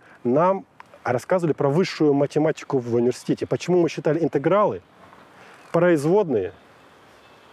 То есть все там было. То есть там была формула, когда надо было брать первую, вторую производную, подставлять формулы считать премию. То есть, грубо говоря, что если ты хорошо шаришь в математике, ты, мог, ты можешь заработать в, в опционах очень большие деньги. Знания можно было приложить, но когда обучали, куда приложить, За- зачем? То есть ты Одна расписываешь, теория, да. ты расписываешь огромные формулы. то есть, Теоремы, теоремы расписываешь, ну, математика. теоремы, там какие-то супер формулы, как бы сложные, да, но по сути, как их применить, ты не понимаешь, поэтому они очень быстро забываются. А здесь у тебя конкретно формула, вот ты берешь, считаешь, и ты понимаешь, что если ты правильно посчитал, ты заработал. Если ты ошибся, ну, кто-то заработал вместо тебя, а ты потерял. Нужно ли какое-то специализированное образование для трейдера? Нет. То есть любой желающий, кто имеет любое образование, Да. может стать трейдером. У нас есть примеры э, люди без образования. Ну, то есть э, люди даже, э, они не заканчивали высшее образование, там, в техникуме учились. И очень достойно. а, Успешно стали трейдерами. И достойно, и успешно Мгм. вместе. Отлично. А имеешь ли ты какие-нибудь лицензии, корочки дополнительные по фондовому рынку? Ну, э, по глупости юности, э, когда только начинал, там, в эти все в СФР, я даже учил их, там, пытался их сдавать. Хорошо, что ничего не сдал, потому что... Потому что их отменили. Ну и да, и их отменили, но в принципе, да, и чтобы... Вот для, для скальпинга это Да, нафиг не надо. Вот, согласен. вот для скальпинга не надо читать книги. То есть вот, а, Ну, м, ну, у меня такая позиция, то есть нафиг не надо их читать, эти книги, надо смотреть видео. а, Ну, э, всё э, понял. Видео, анализ, это будет приносить результат. Читать, оно только только будет сбивать. Это всякие книжки по техническому анализу и так далее. Ну, в целом ты должен понимать, что это такое, да? Тебе же помогла книжка с фьючерсами, с Нет. опционами? Я просто любознательный, и мне это было интересно. Чтобы Я- расширить кругозор, хотя бы понимать, Ну тогда я этим, устроить. я еще торговал опционами, то есть я занимался алготрейдингом, то есть мне это надо было. То есть мы говорим чисто про скальпинг, вот а, про э, ремесло и про хардкор, да, то есть открыл стакан и херачишь там, да, не надо ничего этого, в принципе не надо ничего этого. То есть это будет только лишнее, это будет затуманивать мозги. То есть вдруг еще вздумается поставить какой-то параболик либо индикатор те- тебе на график. А люди ставят туда. То есть и от него торгуют, какие-то отскоки делают от этих параболиков, восходящих средних в целом, да? То есть я ничего против них не имею, но это все можно увидеть и, и просто на графике. Да. То есть зачем дополнительно усложнять свою жизнь? В Усложнять, скальпинге согласен. все, должно быть просто. Ты, стакан, желательно, который имеет быстрый прямой доступ к бирже, и, а, ну, собственно, запись видео рабочего стола, это очень важно. Когда я вижу, а, что кто-то пытается, знаешь, заумными какими-то м, фразами, метафорами объяснить вот то, что он зашел в пробой, Там условно, просто, грубо да. говоря, я такой думаю, господи, вот это да. Вообще на рынке все очень просто работает. Там, где есть неэффективность, можно заработать. А, Там нет, нет ничего сложного. Самое сложное найти неэффективность. Да. А все остальное все очень просто. То есть там не, не надо очень много объяснять. Все очень просто. Но самое главное – это неэффективность. Если есть неэффективность, можно заработать. Если рынок стремится к эффективности, и ты этого не понимаешь вот, э, в этот период времени, то, скорее всего, ты начнешь лить. Ну, даже не понимаешь, что происходит, потому что он э, эффективный. Сейчас ты а, занимаешься инвестированием. У тебя сейчас нет потребности в получении лицензий, корочек, возможно, в дополнительном обучении? Есть в планах? Ну, вот в инвестициях это может быть полезно, Да. смотря какие ты планируешь делать следующие действия. Да, там, управлять, а, брать в управление, а, выходить на другие рынки, да, получать доступ к каким-то рынкам. Там это будет иметь смысл. И в инвестициях, кроме опыта, конечно, там нужно читать и понимать. То есть Точнее даже, там нужно читать. То есть ты берешь отчет и читаешь. То есть это не книга, но это отчет. Он 50 страниц. То есть ты открываешь отчет компании, ты его исследуешь. Там все написано. То есть тут нужно читать. И совершать сделки крайне редко. То есть чем реже ты их делаешь, тем лучше. Если много суетишься и много делаешь сделок, скорее всего, ты эффективность свою уменьшаешь, а то и э, можешь убытки получить. Самое главное обучение, которое мне нужно получить и получать дальше непрерывно, Практиковать. чтобы, э, чтобы быть конкурентным на рынке и, э, ну, допустим, попытаться, попытаться увидеть чуть больше, чем другие, чтобы заработать. Потому что если ты видишь, что- то есть ты увидел то, чего не увидели там, большинство, да, то есть если ты это увидел, если ты это вычитал в отчетах, ты сконструировал, понял о том, что компанию оценивать не так, как она должна стоить, и ты понимаешь, почему она может раскрыть свою стоимость там, через год-полтора, ну, то есть как бы есть. Вот в этом плане нужно непрерывно учиться. Не, там, не какую-то ты книгу. У меня дома лежат вот, вот- такие толстые. Вот а, самая дорогая книга, ко- которую я покупал, по-моему, там что-то финансы, кор- ко- а, корпоративные финансы. Вот такая огромная толстая книга. Знаешь, ты, ты на нее смотришь, и ты уже умнеешь. То есть она, то есть она стоит на полке, я понимаю, потому что она просто стоит, и я уже умный. То есть, но я ее, я ее много раз пытался начинать э, читать, да, но как бы э, так и не осилил до конца. По сути. Ну, потому что очень сложное Нет, потому что э, вопрос именно в э, прикладной истории. То есть э, то, что сейчас нужно использовать, допустим, в инвестициях, да, там даже не- некоторые такие специфические истории именно корпоративные, да, то есть они чуть более э, глубокие. Полезно бы это как бы э, вычитать и узнать. Опять вот э, как бы как бы это можно вырезать, да, там вырежи, вырежи, вырежи. Шутка.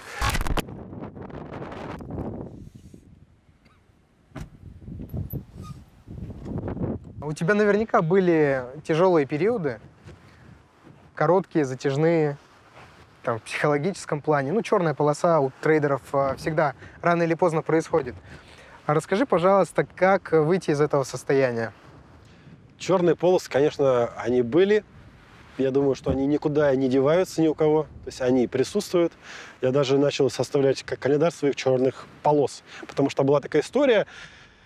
В общем, неважно, какой рынок, неважно, кто сколько зарабатывает. Вот ты три недели супер зарабатываешь, у тебя отличные результаты. Причем остальные могут не зарабатывать. То есть вот как бы я зарабатываю, там, большинство говорят, рынок отстой, он плохой. А ты говоришь, офигенный рынок, там, вот, зарабатываешь. А потом что-то происходит, и тебе начинает клинить. То есть ты начинаешь потихонечку сливать, это может быть после либо большого слива, ну какого-то там единоразового, да, либо психологически что-то, ну фиг знает, да, это как вот какие-то дни специфические такие, красные дни. Только у трейдера красные дни, да. А, и начинаешь лить неделю, две, три, то ну, как бы, ну, очень серьезно можешь лить. А остальные говорят, офигенный рынок, зарабатываем бабки, зарабатываем. А ты такой, «А что происходит? То есть ты что, ну, что ты, что ты не так делаешь? Ты вроде делаешь все то же самое, то, что умеешь, и то же самое, что другие, но, но ты льешь. Да. Здесь самое, ну, я для себя это определил, да, то есть тут было важно, знаете, в какой-то момент надо было остановиться, расслабиться, сдаться, вот, вот, вот, вот именно сдаться, а, не бороться. Вот, вот, вот считать, все, окей, то, что было, было, забыли, меня там победили, сделали больно, да, вот сейчас надо с чистого листа, вот с чистого листа, неважно, кто сколько зарабатывает в округе, то есть ты должен закрыть день в плюс. Вот, вот просто по-любому ты должен день закрыть в плюс и быть в рынке. То есть и ты должен успокоиться. Вот я для себя это поймал. А, череда черных, вот, черной полосы, она прерывалась с помощью смирения и начала нового цикла. Потому что пока, ты, ну, пока я боролся, то есть я думаю, блин, прошла неделя, надо, надо бороться, надо бороться, рынок, надо его победи, то есть ты с ним бьешься, он тебе дает таких лещей, что думаешь... Знаешь, это такая метафора, раз мы сидим напротив моря, это как будто гребешь, гребешь против этого. Да, против, против течения. Нужно идти по течению, либо галсами, да, ну вот как вот мы яхтингом чуть-чуть э, занимаемся, а, нужно ты не можешь идти против ветра, вот прямо да. вот против ветра. Ты можешь идти в, а, по 30 э, градусов. То есть яхта может идти парусно в сторону ветра, но по 30 градусов. То есть э, в ту, в ту сторону, чуть-чуть в сторону, зигзагами, но в сторону ветра. Тут также. То есть не надо идти против ветра, потому что рынок тебя снесет. То есть если ты попытаешься доказать рынку, что ты более прав, что ты главнее, что ты умнее его, он тебя раздавит просто в пух и прах. И тут вопрос в том, чтобы сохранить то, что ты заработал больше, чем ты потерял. Слушай, наверняка у тебя были моменты, когда, когда ты очень хорошо заработал, но потом э, что-то произошло, ты это слил, например, то, что заработал, да. и ушел еще в минус. Да. То есть появляется вот эта жадность. Как с этим бороться, с жадностью? Что делать? Это, возможно, к вопросу о постановке э, целей. А, ну, тут, что делать? Тут, ну, с моей точки зрения, все-таки это немного разные вещи. Жадность, она может проявляться в разных ситуациях. То есть, ну, с моей точки зрения, если ты заработал и слил, там не жадность. Ну, то есть, ну, для меня там другая эмоция. Появляется жадность. Когда ты заработал и слил, она, это, знаешь, такое предтильтовое либо тильтовое состояние. То есть ты уже в не, не в адеквате, потому как ты думаешь, ага, я же заработал, так, мне надо хотя бы вернуть то, что я заработал. Ну, для меня, для да. меня это ну, слово определение жадности имеет другой фактор, да, то есть когда ты в ну, плюсе. Как да. ты думаешь? То есть когда в минусе, для меня это не жадность, то есть там ну какие-то там сплетения именно эмоций. Ну вот, наверное, будем говорить, как с этим бороться, да? Давай, ну, да. Ну там, жадность, не жадность, но неважно, когда ты в минусе э, слился. А что изменилось?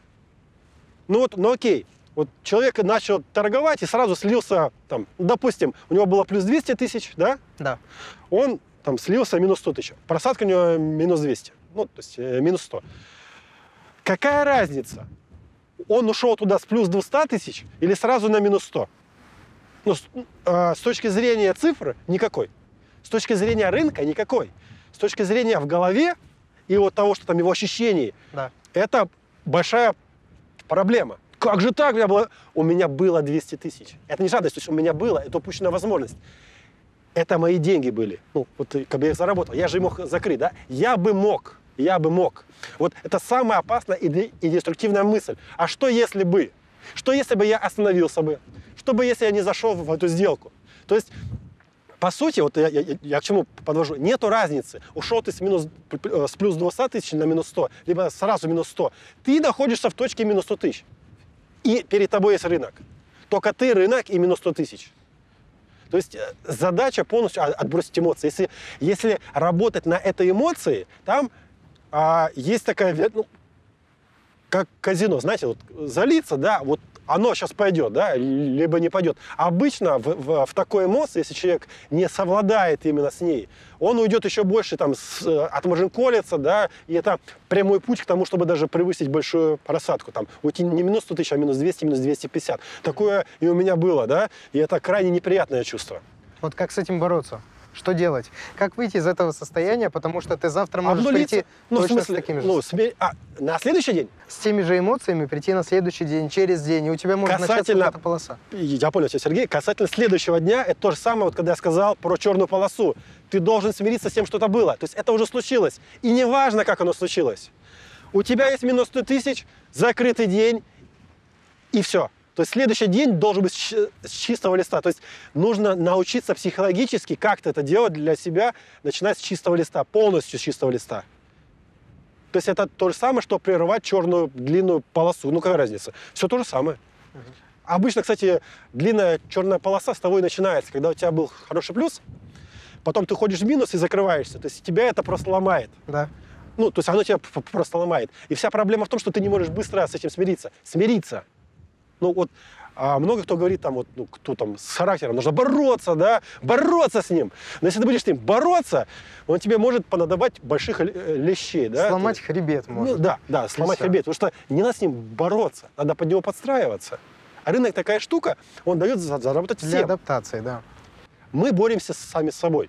Нету борьбы с рынком, есть с самим собой. Потому что каждый день на рынке есть ситуация для заработка. То есть можно заработать вот, вот я практически уверен на 100%, да? То есть я это видел много раз у нас э, в офисе в Делиге, когда все говорят, что рынок полнейший тухляк, нечего там делать, прям ну, такая как бы негативная история, а ты много заработал.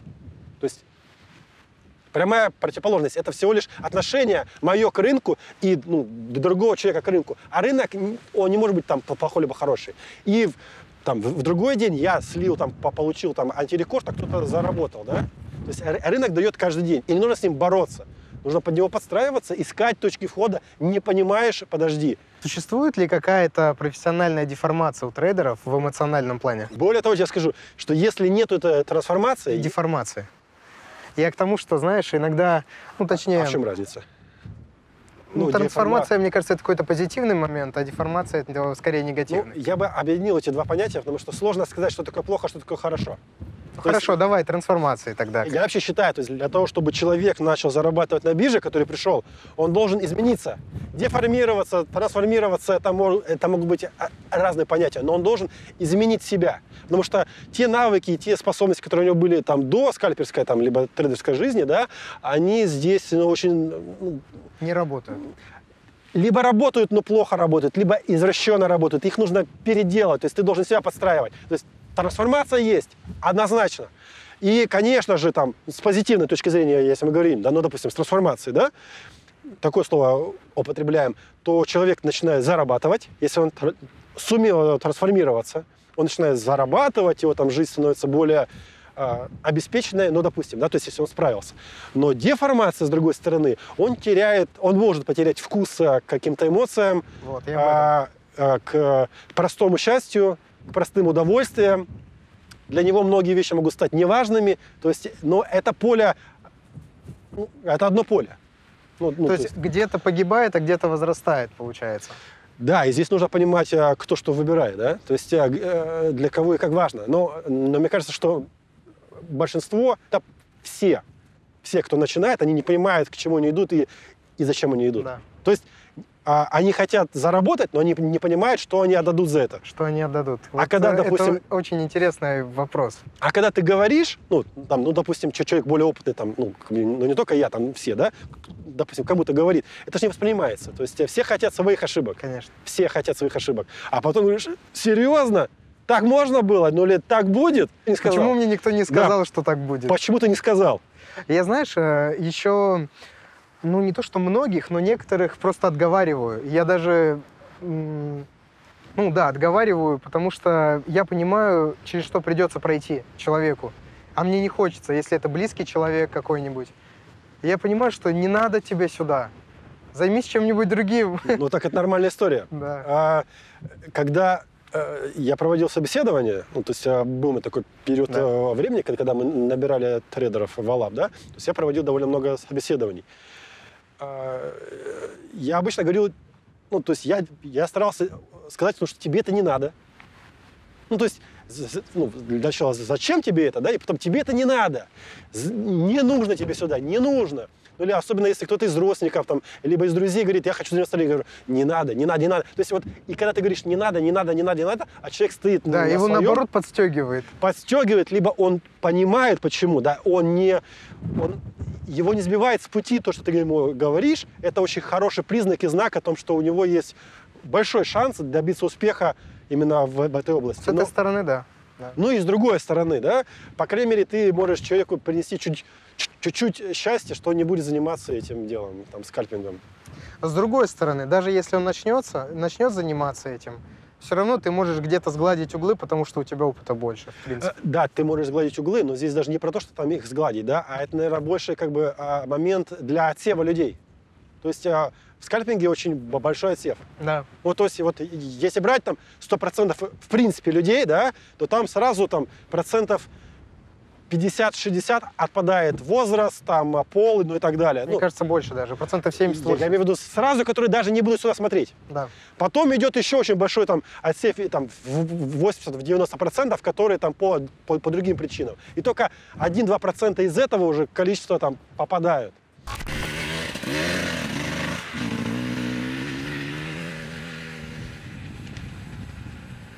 Как считаешь, вот тот адреналин, который ты получаешь от эндуро, от вот этого мотоцикла, а, ты тем самым, возможно, пытаешься компенсировать те эмоции, которые давал трейдинг? Ну, отчасти, я думаю, это связанные вещи. Отчасти. Ну, в трейдинге там такая история, что у тебя нет чего-то посередине. У тебя есть дикое э, расстройство депрессии, либо дикая э, эйфория. То есть Да, очень качели- сложно качели держаться большие, посередине. И обычно, когда вот люди торгуют скальпингом, занимаются активно, им очень сложно вот эту середину поймать. То есть простые радости в жизни не приносят э, радости. Ну, простые, обычные человеческие э, радости Мгм. они забываются. Ну, либо не приносят тех эмоций, потому что э, химия организма, она слишком, Волатильная. слишком волатильна, да, и Да. что-то посередине она не воспринимает. Скорее всего, да. Но почему-то, да, ну, допустим, мои э, друзья и товарищи, которые занимаются этим, почему они этим занимаются? Они, они, они не скальперы. То есть я думаю, что это внутренняя потребность, внутри она находится. Так совпало. Давай немного поговорим об инвестировании. Давай. Когда ты начал инвестировать? Ну, именно так, чтобы купить акции и, и зайти в них, это был 16 год. Что сподвигло к этому и какая, какая цель вообще? А Инвестиции. нежелание постоянно сидеть за компьютером, То есть, то есть э, внутридневная торговля уже осточертела, и ты такой, так, надо... Я стал искать э, возможность, чтобы не сидеть с утра до вечера за, за компьютером. Мгм. Не важно, сколько ты зарабатываешь. Ну как это? Не важно, сколько ты зарабатываешь, если ты не можешь их никак использовать. Мгм. Там, для своей радости, для своего счастья, для- любой счет, который у тебя находится, там, сколько там не, было денег, он не имеет значения э, в долгосрочной перспективе, если ты эти деньги никак не используешь для своей жизни, для жизни своей семьи, либо окружающих.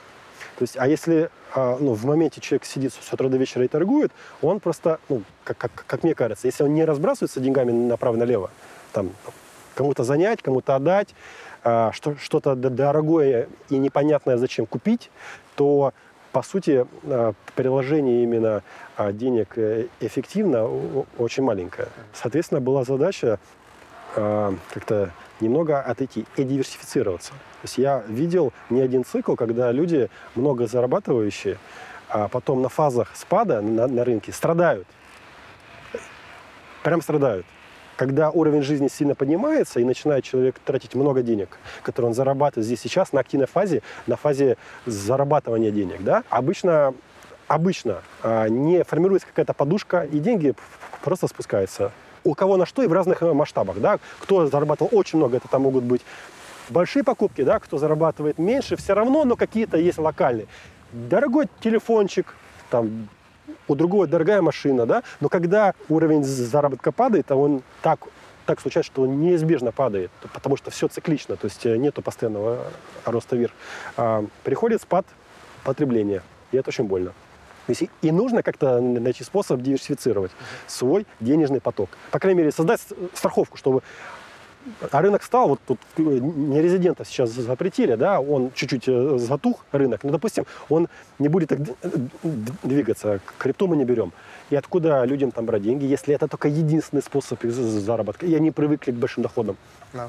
То есть э, будут сидеть ждать очень долго. В любом случае, для того, чтобы получать большие доходы при инвестировании, тебе должен быть большой капитал в этом. Вот это как раз-таки э, массовое заблуждение. То есть э, люди говорят, особенно тоже там в трейдинге, Объясни. да, вот я сначала сделаю капитал, а потом я буду инвестировать. Так не работает, потому что никогда не будет такого. Нет, я не об этом сказал. Я, я имею в виду для того, чтобы, смотри, да. ты, допустим, зарабатываешь 100 тысяч на э, торговле внутри дня, и при этом для того, чтобы заработать, ну, и имея, допустим, там 500 тысяч рублей на Все балансе, правильно. но ты же не сможешь с этими 500 тысячами заработать. Согласен, но если ты не начнешь это делать, они у тебя никогда Понятно, и, не, это да. и не увеличатся. То есть да. вопрос в пути. То есть для того, чтобы что-то сделать завтра, э, чтобы получить что-то завтра, нужно сделать сегодня. Да. А если думать о том, что я, вот, я должен сделать определенную там сумму сегодня, да. и тогда я буду делать это завтра, так это не будет работать никак. Что мешает без большого капитала начать учиться тренироваться и формировать свой капитал. Только а, неважность инвестиций. Ну, либо неважность, несерьезность дохода, который там может быть. То есть человек зарабатывает очень приличные деньги там в скальпинге, да? Если он их вложит там в какие-то активы, как он сам выберет, да, он посчитает, что годовая доходность будет не, ну, неинтересна ему. Да. Ну, да, да. Но это обман в моменте, потому что э, со временем... Процент, да? Сложный процент, да, сейчас кто-то может там будет смеяться, то есть... Э, Почему? Есть такие, кто не воспринимает его или не понимает его. Но есть кто вообще не верит в фондовый рынок, есть кто а. вообще как бы не верит. Таких здесь нет. Да есть, в смысле. Те, кто нас смотрит, а, таких нет. У нас как минимум я знаю несколько, несколько топовых человек, которые, собственно, они очень а. Все, фонда умерла, только крипта. Нет, нет, нет, нет. Имеется в виду о том, что э, если я зарабатываю на фонде, либо на крипте, я не храню деньги там. То есть я их изымаю в, в другое место. А-а. То есть я не использую тоже место, где я заработал, для того, чтобы приумножить то, что я заработал. Слушай, ну у меня была всегда такая позиция, если бы ты меня спросил, что э, тот баланс, который мы сейчас имеем, который, с помощью которого торгуем, это всегда инструмент. Да. То есть деньги это только тогда, когда вот он мне на баланс пришло, на карточку там, например, или когда я их в руки взял. Тогда это деньги. А пока они там где-то, это все инструмент. У тебя такая же позиция? Ну да, когда они в капитале, это тоже инструмент. Но когда они у тебя э, заработаны на спекуляции, где-то здесь лежат, это инструмент не, не инвестиционный, то есть это, это немного другая история. Для того, чтобы его перевести, нужно психологически его принять и переложить его в другое место. И вопрос, для чего? То есть когда я говорю о том, что а, была потребность а, диверсифицировать денежный поток, я искал разные варианты. Даже был бизнес. То есть да, даже был бизнес, где, собственно, несколько раз очень а, неплохо удалось попасть в минус. То есть там все потерялось, как бы много. Да? И Прогорел. Я, да, да, да, да, да. То есть ну, там довольно все прилично было. И к чему я пришел? К тому, что нужно заниматься в том, в чем ты, ну, по крайней мере, ты разбираешься лучше всего на текущий момент. То есть зачем создавать бизнес, если можно купить бизнес? То есть ты, когда приходишь на рынок, покупаешь акции, ты покупаешь долю в бизнесе. То есть, ну, выбери ты бизнес, который тебе подходит, ну и купи его. Зачем в это верить, либо это не верить? Это все вокруг нас находится. То есть эти компании, они здесь живут. То есть ты можешь купить долю в этом бизнесе. Если тебе не устраивает эта компания, купи другую. Если не устраивает эта страна, либо та страна, да, выбери другую. Но это же, собственно, есть покупка части бизнеса. То есть это есть акционерный капитал. А ты инвестируешь только в Россию или в Америку тоже? Ну, сейчас, в частности, да. А сейчас нет других. Ну, сейчас есть большие сложности. То есть если мы будем к этому там переходить, да, то есть есть там некоторые заблокированные позиции, акции и так далее. Сейчас... А, только Россия остается. Наша. Ну, это и неплохо в целом, ну, да? да. Вопрос безопасности. Ты можешь инвестировать, э, не буду называть куда, но в, в другую страну ты можешь инвестировать, да? Но э, исходя из э, текущих тенденций там частной собственности, которая там блокируется, изменяется и так далее. Гарантии того, что ты вернешь свои деньги, в принципе, ты вернешь, даже не заработаешь, а, ее нет. Я сейчас не говорю про, про тенденции в целом макроэкономические. По какому принципу ты инвестируешь в компании? Постарайся как-нибудь кратко, если получится это. Покупаешь дешевую компанию, А как определить дешевую по отчетности, по финансовой? отчетность, конечно. Да. Идем дальше? Да. Спасать не идем? Если в двух словах, то эм, когда у тебя есть на балансе компании, к примеру, завод, там, пароход, там, машины, да, и это оценивается условно там, в 100 миллионов э, рублей, ну, допустим, да, а у тебя капитализация компании составляет 50. То есть ты можешь прийти на биржу и купить ее за 50, хотя у нее активов на 100. Мгм. И у тебя есть какие-то предположения о том, что ее капитализация раскроется, это есть дешево. Но когда ты покупаешь компанию за миллион, допустим, а у нее внутри там на 100 тысяч, это дорого. Понятно. Простой То есть пример- анализируй отчет, финансовый отчет компании. Очень грубо. грубо, сейчас Мгм. сказать, да. Вот является ли компания Tesla дорогой? Ну, допустим, вот го- год назад, да, у нее, ну, вот, а, простой пример. А, компания а, стоит по капитализации, как весь остальной автопром в мире вместе взятый. Вот, Да. вот как бы если взять капитализацию. То есть одна компания стоит как там Mercedes, BMW и так далее. Производит она машин там меньше 1% от их долей. Мгм. А зарабатывает она тоже меньше 1% там, э, прибыли и беды от их долей. Вопрос, стоит ли компания Tesla дешево? Это риторический э, во- вопрос. Да? Можно верить в том, что Tesla захватит мир, а, и все будем ездить на машинах только Tesla. Но как оказывается, что это не совсем так. И в моментах это может быть хайповая история. То есть все в это верят, это что-то новое, интересное. Мгм. Это является дорого. А если компания, которая э, наоборот находится в противоположной стороне, зарабатывает очень много, зарабатывает, э, как она сколько стоит за один год, Мгм. это уже более дешевая история. То есть, ну, вот если в двух словах так сказать. А твой подход э, инвестиций включает спекулятивную составляющую? Ну, это не то, что мой там подход инвестиций, это вообще в целом общепризнанная такая история, да, когда ты покупаешь недооцененные компании. Спекулятивная история, конечно же, она там может присутствовать, и она там может присутствовать э, из-за твоей жадности, вот то, о чем мы говорили, да, когда ты хочешь больше. Да. Но это очень опасная вещь. То есть это называется там плечи, это Да. называется заемный капитал, это называется там по-быстрому зайти в сделку и выйти из нее. Ну, такая история. Ты практикуешь. Отчасти бывает, да. Это успешно? Успешный опыт в, в основе своей? Я понимаю, что могут быть там и какие-то неудачные вещи, но в, основе ты больше заработал на таких А, вещах или Я как, собственно, скальпер, вот тот человек, Да. который, собственно, прошел эту школу, да, ты понимаешь, то что есть делаешь? а, мне а, нужен чуть больше риск. Ну, то есть вот а, мне сложно находиться, а, допустим, в облигации и в акции. То есть мне нужно, чтобы, там, допустим, было 100% акций. То есть это более э, рисковая история, она более волатильная. Я готов а, терпеть эту волатильность э, а, ради, возможно, более большей доходности. То есть не факт, что она будет, да, но вот я готов там сидеть. Э, Если человек инвестирует свои капиталы, да, то есть, допустим, я бы ему сказал, потому что так делать не надо, то есть а, желательно, чтобы у тебя была широкая диверсификация и а, какая-то там небольшая подушечка, там до 10% может быть в облигациях. Если прямо э, совсем человек не хочет э, облигаций, хочет вот, вот этой во- волатильности, возможно, доходности, ну, как бы 100% в акциях, да, но это все в зависимости от цикла рынка. Слушай, интересно, если ты э, вот у тебя есть спекулятивная составляющая, какие, каким должен быть твой стоп в, в таких Там ситуациях? нет стопа, то есть То есть ты просто зашел и вот на веру, либо, либо она сходит, либо я инвестор. Нет, нет, нет. Как раз таки ты же, если мы говорим про чисто спекулятивную историю, да, Да. а в инвестициях, если это можно назвать спекуляцией, ну там, ну, ну, ну, условно, какие-то краткосрочные спекуляции, да, там. Да. Краткосрочная спекуляция это не один день, это может быть там год. Да. Ну, ну, ты взял там тот заемный, ну, допустим. Стоп это отмена идеи.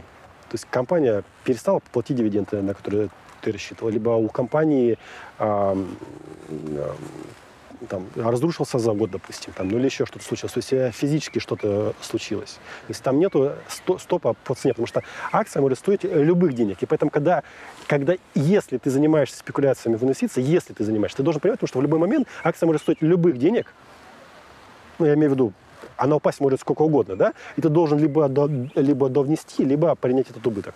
То есть, если мы говорим сейчас с тобой про спекуляцию. Но, но это же вы- э, вынужденная история. Но, но ты должен понимать, что ты принимаешь такой риск либо нет. Но мы сейчас зашли именно в тему спекуляции, да, такая история, она очень тонкая, она не для всех, и она не всем нужна. То есть инвестиции это не про спекуляции. То есть Да. ты купил, как бы, Так ты я, ж держишь поэтому там и спросил, 30 лет. я поэтому и спросил, что используешь ли ты до сих пор вот этот метод спекулирования в инвестировании, потому что ты понимаешь, как это работает, потому как прошел ту школу. Ну, это разная школа.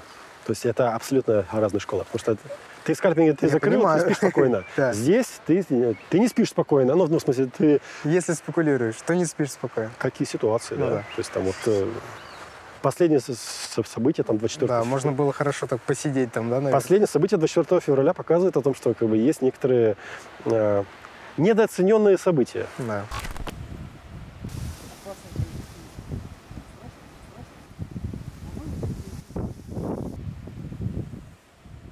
Посоветуй, пожалуйста, как готовиться к торговой сессии. Какой-то анализ графиков, новостей, возможно, танец бубном, чтобы не размазало по стакану. Ну, вы же понимаете, потому что сейчас я не торгую, да? Сейчас Да. некоторые моменты Ну, расскажи об опыте меняются в целом. Как готовиться к, к открытию биржи?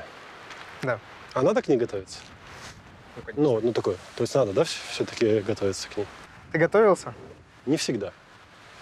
Первые там три года, например, торгов. Понятно, у тебя уже спустя то, то время, когда ты получил а, определенный опыт, тебе уже не нужно было, наверное, Возможно, то, что я скажу, да, оно будет не очень полезно для новичков, да, но по сути а, именно как сама по- подготовка, Да. вот, вот, вот для зарабатывания каких-то больших там каких-то сумм денег, да, она не такая уж и она, она с моей точки зрения не так нужна.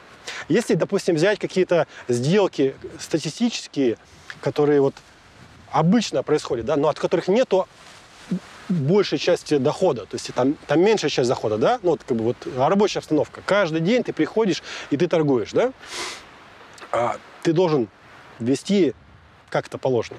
Дневник торговых сделок, просматривать видео либо утром, либо вечером, в зависимости от того, когда у тебя есть время. Да? Ну, желательно это сделать вечером, сделать записи в торговый журнал и утром это все дело просмотреть. Так правильно и так надо делать. Но, допустим, если говорить про меня, то я этого не делал. От слова совсем? Или был период, когда Ж- делал? а, я это делал на начале. Первые полгода ты занимался тем, что вел дневник трейдера, Да. вел записи видео, пересматривал. Записи видео я вел всегда. До самого последнего дня торговли у меня все эти записи даже сохранились. В 10 терабайт видео, ко- которое лежит. То есть там все описано. Каждое видео описано, что там было, где смотреть, ну и так далее. Да? То есть если можно его открыть, посмотреть и все это по- понять. То есть является ли это журналом? Ну, то есть Да. это Nokia, да, то есть я, это делал каждый день. То есть Фактически это тот же самый дневник, только в видеоформате. очень кратко, да. То есть, если что-то было мега интересно, то есть я не записывал по каждой сделке, которую я делал. Понятно. То есть уже э, в каком-то зрелой стадии, да, я писал какие-то мега, мега крутые истории, на которых можно много заработать. Я записывал такое-то время, то-то, то-то, то-то, то-то. То есть для того, чтобы можно было взять и писать, потому что там в- 8 часов видео, но это не- нереально там потом будет что-то найти. То есть То есть э, нужно было сохранять только то, где ты очень сильно зараб- много заработал, где ты очень много отдал, или где были конкретные алгоритмы, на ко- которые ты мог использовать в будущем. Да, на что сделать фокус? Да. То есть э, для того, чтобы заработать много, нужно сделать фокус на те или иные истории. Но в начале пути я записывал все сделки, потому что у тебя нет понимания, какой тебе нужно сделать фокус, у тебя нет понимания, куда смотреть, какие сделки делать. То есть ты делаешь, ну, условно, все сделки, да, и какой у тебя будет опыт, покажет только время. Соответственно, у меня был excel файл, ну и там 100 сделок в день. То есть там было написано, сколько взял, то есть одну сделку сделал, записал, одну сделку сделал, записал. То есть в таком формате был. Я сейчас имел в виду, что я не готовился к ней уже, ну, грубо говоря, когда был фокус на те или иные истории, и когда было понимание, что, что нужно делать. Потому что прийти и посмотреть на графики уровни, начертить эти уровни, да, понять, где будет интересно и, возможно, пробой, для меня это не подготовка к сессии, это просто обыденность. Ага. То есть пришел, понял. открыл, Обязательно нанес, сделал. Да. сделал. То есть, но для меня, ну, видите, да, что я вначале не сказал о том, что как бы, вот, как бы это важно делать. То есть это была просто обыденность, а она была нужна. Но, в принципе, если я пришел бы, допустим, к без 5-10, да, Да. так сказать, э, сразу э, вошел бы в рынок и начал бы торговать, глобально бы ничего это не изменило.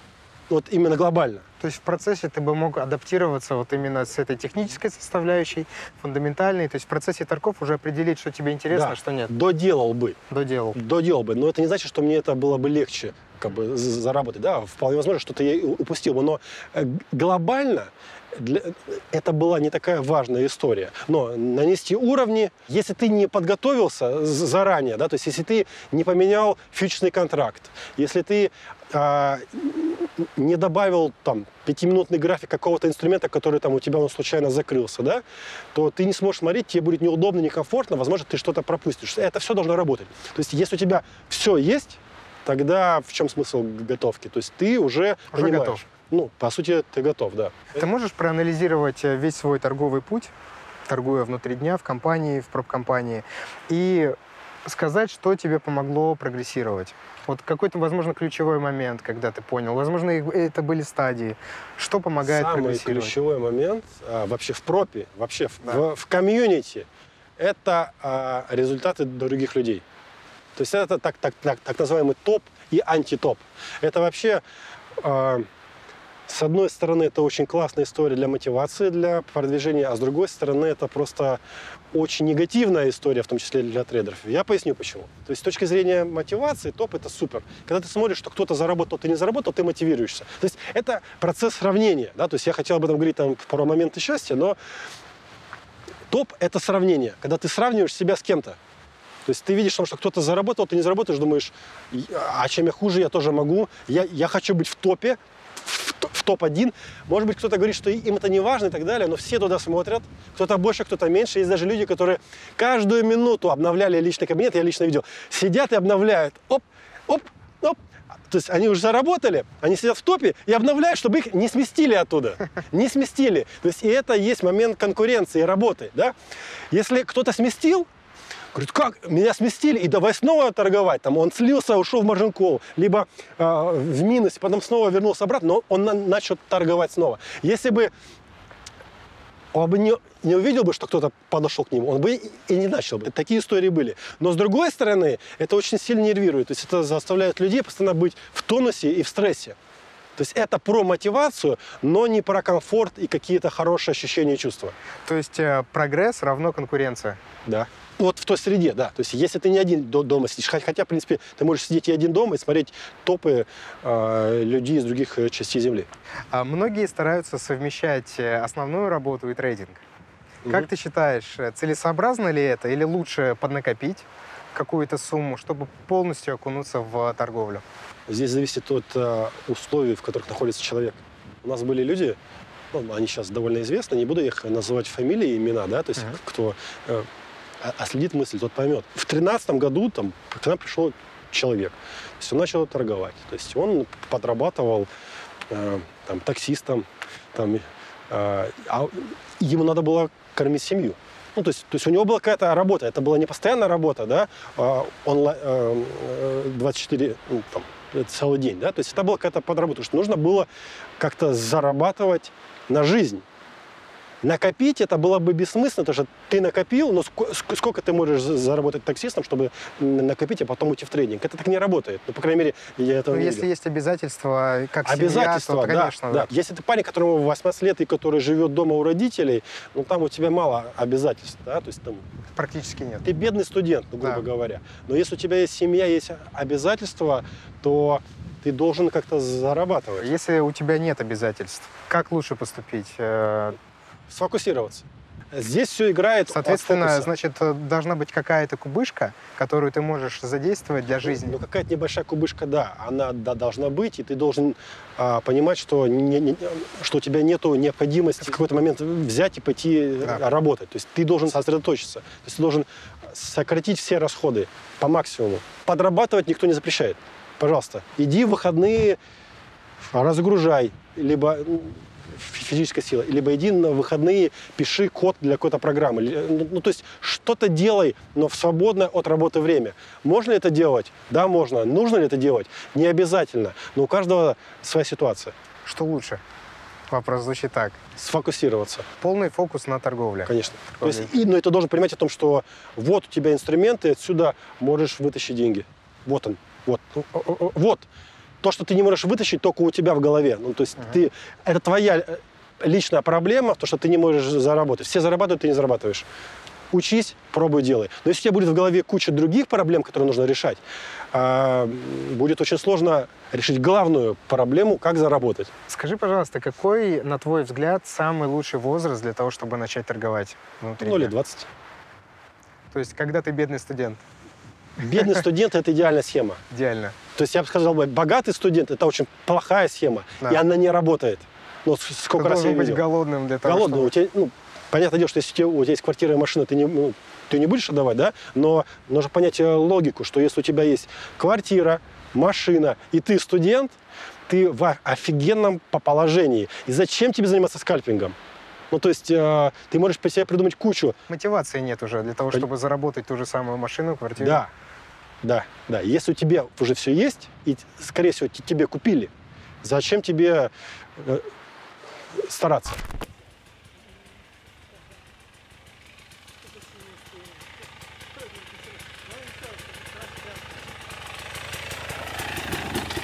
У тебя есть закрытое сообщество инвесторов. Ну, небольшое есть. А ты планируешь как-то это в будущем развивать? Во что это ты видишь выльется? Есть какие-то планы по этому поводу? Основная цель этого сообщества для того, чтобы собрать вокруг, вокруг себя небольшую группу людей, и э, постепенно люди э, развились до того уровня, чтобы ну, можно было обсуждать темы, э, какие-то акции компании. Одна голова хорошо, а 10 лучше. То есть метод, который мы использовали про торговлю внутри Схожая дня, история. он здесь тоже Да, да, работает. да, конечно, история схожая. В то же время, когда ты сам находишься в сообществе людей, которые инвестируют, ты сам учишься. То есть такой же метод был в скальпинге. То есть для, для того, чтобы тебе лучше торговать, ты должен кого-то учить. Э, Может быть, это звучит странно и непонятно, но э, когда ты начинаешь кого-то учить, ты начинаешь лучше торговать. Абсолютно согласен. А а кто может попасть в это сообщество? Ну, закрытая весьма. А, ну, нужно мне написать, да, то есть это может туда попасть любой человек, которому интересно э, инвестировать.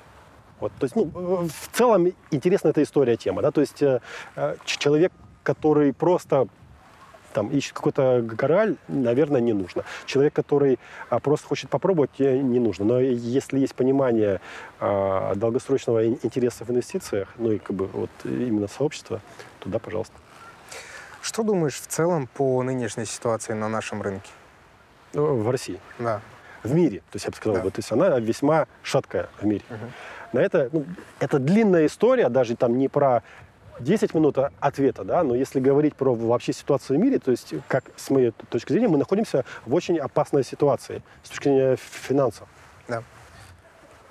Как бы это пошло не звучало, именно пошло, потому что все об этом говорили там, последние 20 лет касательно доллара там, ну, ну, ну, и так далее. Но есть конкретные цифры, да, то есть э, не фантазировать, но, но есть цифры. Есть госдолг, там, э, каких-то стран, да, есть процентная ставка, есть стоимость обслуживания вот этого долга. Да. Есть еще один показатель, который очень важный, это инфляция, которая, как бы, начинает инфляция э, расти, потому что напечатали много денег, если говорить простым языком. И, по идее, для того, чтобы закосить, нужно поднимать ставку. А ставочку-то поднимать опасно, то есть у тебя тут э, В общем, по всем фронтам там уже как-то не очень становится. ну, чтобы не армагеддонить, да, Да. ну вот есть цифры, которые можно посмотреть и посчитать. Не, Да. надо, не, не надо никому верить. Ну, возьми, посчитай цифры, и у меня не сходится. Как при такой инфляции ее можно подавить такой ставкой? И, и как можно поднять ставку при таком э, долге? Я имею в виду без потрясений. То есть, скорее всего, это все будет происходить, но без потрясений. И а, из этого следует определенные выводы. То, что в целом может происходить глобально, везде. То есть я не буду говорить, что А так что ты думаешь, конкретно. будет, э, если вдруг самый страшный сценарий, что ты думаешь будет с CP, например? А,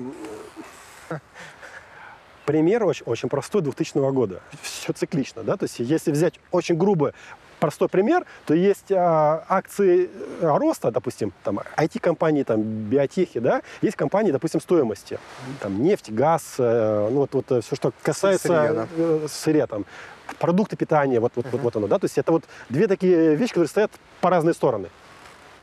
И такая уже история была схожая в 2000 году, когда CP500 после пика своего там в в районе 2000 года отрастал к этому пику, ну, он дошел до пика в 2008 году, там, э, очень близко, но превысил его ближе к к 11 г- к 12 году. То есть это 12 лет, э, 12 лет потерянного роста. Это с учетом того, что в 2008 году, когда случился кризис, начали э, пе- печатать деньги. Ну, то есть, э, если посмотреть на денежную массу доллара, то именно после кризиса 2008 года она пошла по экспоненте вверх. Да. То есть там 2008 год, 2020 год, 2022, вот, ну, тут, тут, вот она туда идет. Что думаешь о криптовалютах? Есть ли у тебя монетки, возможно, какие-нибудь? Нет, э, монеток нет. А что думаешь о криптовалюте вообще? Замечательная технология, она изменит мир, будущее и все такое. Не как изучаешь? изучаю. Ну, вот я продолжу ответ касательно изменит мир. Да? Да. Это предыдущая технология, которая также меняла мир и также была, ну, как бы, ну, ну, очень на, на хайпе была, то есть она была прям такая. Это интернет.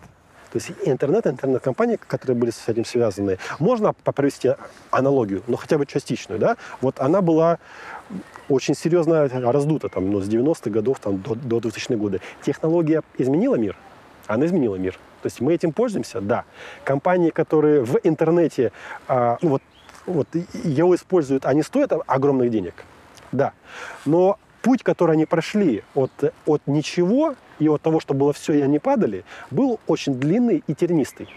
Допустим, такие компании, как ну, в 2000-е годы, там, Cisco, там, э, Microsoft, они очень серьезно падали. То есть они как бы были в тренде, они очень стоили в моменте дорого, а, и не все выжили до текущего времени, очень много кто ушел. То есть э, это косвенный ответ касательно крипты. То есть да, это классная история, да, она изменит мир, но думать о том, что она будет э, расти вечно по экспоненте и захватит э, просто все и вся и будет стоить, как все компании в мире, но это, не, это просто нелогично.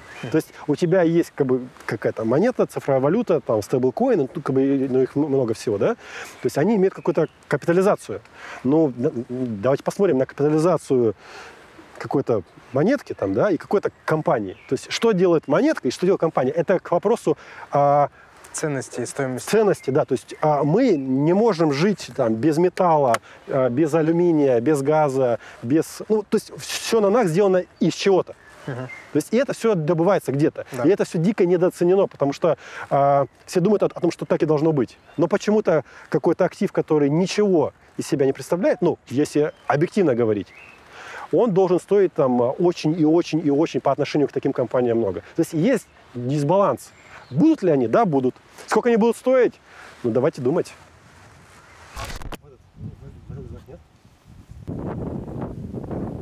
А что делать, если ты зациклился на одной идее? Вот смотришь на актив, да, как э, баран на новые ворота, и э, у тебя одна мысль, что вот он должен расти, и ты постоянно все делаешь, вот где-то там от лонга работаешь. Или наоборот, он, он падает, и ты говоришь, так, тут только строго шорт. То есть ты не подвергаешь вот эту ситуацию критическому мышлению. Как вот э, выйти из этого состояния м, зацикленности на одном? Сменить у, тебя, у, тебя, у тебя было такое, когда ты, знаешь, э, вот себя накрутил до такой степени, что вот сейчас все Ну, вырастет. ты спрогнозировал, да. Ты, ты, ты, ты спрогнозировал, и ты делаешь э, ставку от, от Да. этой ситуации. Но обычно, как я это видел там, по себе, да, а, некоторым людям проще заходить в обратную, обратную сторону, сторону. ну, там, на скок. То есть не потому, что они спрогнозировали, а потому что так э, психологически они устроены. А другие люди, как бы в скальпинге их меньше количество, они готовы заходить на по пробой. направлению. Ну, не просто на пробой скальперский, да, а вот они туда постоянно смотрят. То есть это как вот ты либо по тренду идешь, либо против тренда идешь. А как ты работал обычно? Если, например, идет э, тренд, ты работал от про- против тренда или да, по тренду? против. Ну, мне, мне пс- психологически было сложно. Комфортнее так. Ну, да, да, то есть, ну, комфортнее было зайти в обратную сторону. То есть, И туда... в то время, когда вы торговали, вот э, так, золотое время, в основном было так, что все торговали контртренд. Я правильно понимаю? Нет. А, от психологии зависит. Ну, то есть, а, для Ну, того, что... То есть, вот я тоже заходил в пробой. То есть, но для этого я себя убеждал. То есть, я тебе говорил, Составлялся. Да, то есть я тебе говорю, он пойдет туда. Я, я, я строил план. Мне туда смотреть, потому что у меня была проблема, я заходил на отскок. А если я понимал о том, что будет пробой, ну, либо я хотел понять, да, то есть я себя убеждал заходить на пробой туда. И это было очень непросто. Это, не было, это было не всегда прибыльно. Но с моей точки зрения такая у меня была фантазия о том, что если я буду заходить на пробой и удерживать, я заработаю больше. Не случайно задал этот вопрос, и хорошо, что я его задал. Почему? Потому что вот в то время, когда я обучался в той же компании, и уже спустя какое-то время, когда там добился какого-то результата, я почему-то вот задался вопросом, почему так?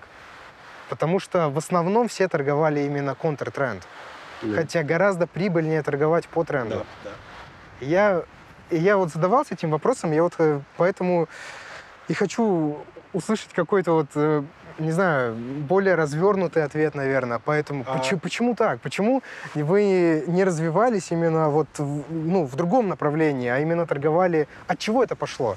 И так было очень много трейдеров, Да. то- достаточно топовых, кто очень много зарабатывал, но вы работали вот кардинально по-другому, нежели вот мы сейчас. Приведу простую аналогию. Да? Вот, допустим, возьмем крипту, то есть историю с с криптой, да, вот Ну последнюю. давай, да. Если ты, э, ну, а- ос- особенно когда она очень активно и мощно росла. Где можно сделать больше денег? На, на тренде? Ну, понятно, по есть, тренду, ка- да. когда кто пришел, у него а, сф- сформировались связи в мозгу, и вообще он, он учился на том, что если ты зашел по тренду, ты заработал, верно? То есть ты заработал. То есть так у нас сформировалось. Когда ты э, рос, условно, там, 10 там, по 14 годы, а, там боковичок там был такой, да? То есть э, в основном деньги делались на откатах, потому что устойчивых, мощных, больших движений не было. То есть сложно сказать о том, что если ты э, зашел и там вы- вытащил рижку на тысячу пунктов там, в 2010-2011 году. Такие были ситуации на новостях. Но обычно Гораздо реже, да? да, да. Но обычно была торговля с откатом. То есть там была статистика, то есть ты смотришь, у тебя там прошел объем, и было понимание, почему. А понимания, почему он пойдет на пробой, не было. Потому что он, он не ходил так на пробой, он ходил в меньшем количестве. То есть мой ответ тебе, э, если вот прям сконцентрироваться, да, это э, разная среда, в которой э, растут трейдеры. Когда прошел 2014 год, э, у тебя твой стиль поменялся или все, все же ты продолжал Ну, торговать? Ну, допустим, вот эти рекорды, которые были по профиту на сишке, они же были на пробой. Ну, то есть они были не Там на откат. был скорее алгоритм, который Ну, ну, подразумевал какая пробой. разница? Ну, это было по тренду. Пр- Пробойная ситуация. Ну, Ну, хорошо, я ну, понял. Это, это же не имеет значения. То есть имеет значение, потому что если ты понимаешь, то есть ты понимаешь о том, что ситуация тебе, тебе может дать, то есть ты заходишь. Отвлекаться от торговли, важно ли это? А это возможно? Помогает ли? Ну, я думаю, да. Да? Именно а, переключать. Ну, смотри, например, ты сейчас занимаешься там спортом на мотоцикле, да? Это же тоже переключение внимания. Я согласен с тобой, но э, Ты изучаешь вот другое направление, там смотришь, какие там запчасти есть, ну, я не знаю, мотоциклы. я то есть- согласен с тобой, но вот в том, то, что я видел, да, и в- вот в той среде, в которой, собственно, я был, там не было переключения. И это, Постоянная торговля. ну, ну, ты сам прекрасно это видел. Да. То есть о, о том, что кто-то сейчас меняет а, свой формат жизни прошлый и переключается, это не потому, что он а, занимается трейдингом и решил разнообразить трейдинг. Нет. Он хочет насытить свою жизнь чем-то еще, уменьшив трейдинг. Но если ты в фокусе находишься, и твоя задача зарабатывать, какие увлечения, ну о чем ты говоришь, какие увлечения? Ты У тебя их хренач- не было то время? Ну, Вообще. по- помимо торговли, то есть ты нон-стоп торгуешь Да, почти изо дня в день, Да, почти нет, конечно. Но, но- только трейдинг. Только тренинг. Более того, если ты хочешь полететь, то, ну, условно, в Таиланд отдохнуть, да, ты выбираешь, вот я как сейчас помню, то есть я думал, когда же полететь в Таиланд отдохнуть? Ага, майские праздники. Там первое, третье не работает, четвертое, пятое, два дня рабочих, и там еще Сокра- три. Сокращенных, и еще да, три и еще. будет. Говорю, отлично, в эти два дня, скорее всего, ничего не случится. Ты покупаешь этот билет, летишь, отдыхаешь, потом видишь о том, что кто-то в эти два дня что-то взял, думаешь, твои дивизии, да? И, и это постоянно происходит, то есть ты живешь э, в этой среде. А мы, давайте не путать, когда человек заработал какие-то деньги, да, то есть условно он прошел какой-то путь, да, он начинает там уменьшать свой фокус на трейдинг а, целенаправленно и добавлять что-то другое. Но когда он находится в активной фазе, там нету ничего.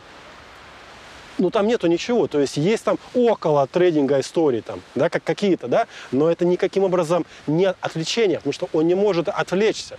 Я, может быть, а, в какой-то в другой среде торговал, может быть, сейчас иначе, но почему-то я уверен в том, что если ты рубаешь, либо ты вот сфокусирован, нету ничего другого.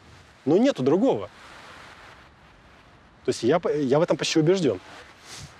Я к тому, что иногда стоит переключать свое внимание, расслабляться от трейдинга, Конечно, отвлекаться. Поэтому и нужно иметь какое-то хобби, которое тебе может и вот этот фокус немножко, знаешь, э, сбить. Есть понятие, как, на, э, как правильно и как надо, и есть как оно получается. Мгм. Потому что в мозгу, когда процессы у тебя нацелены на один результат, ну, по крайней мере, как я это видел для себя, Да. все, все остальное не имеет значения.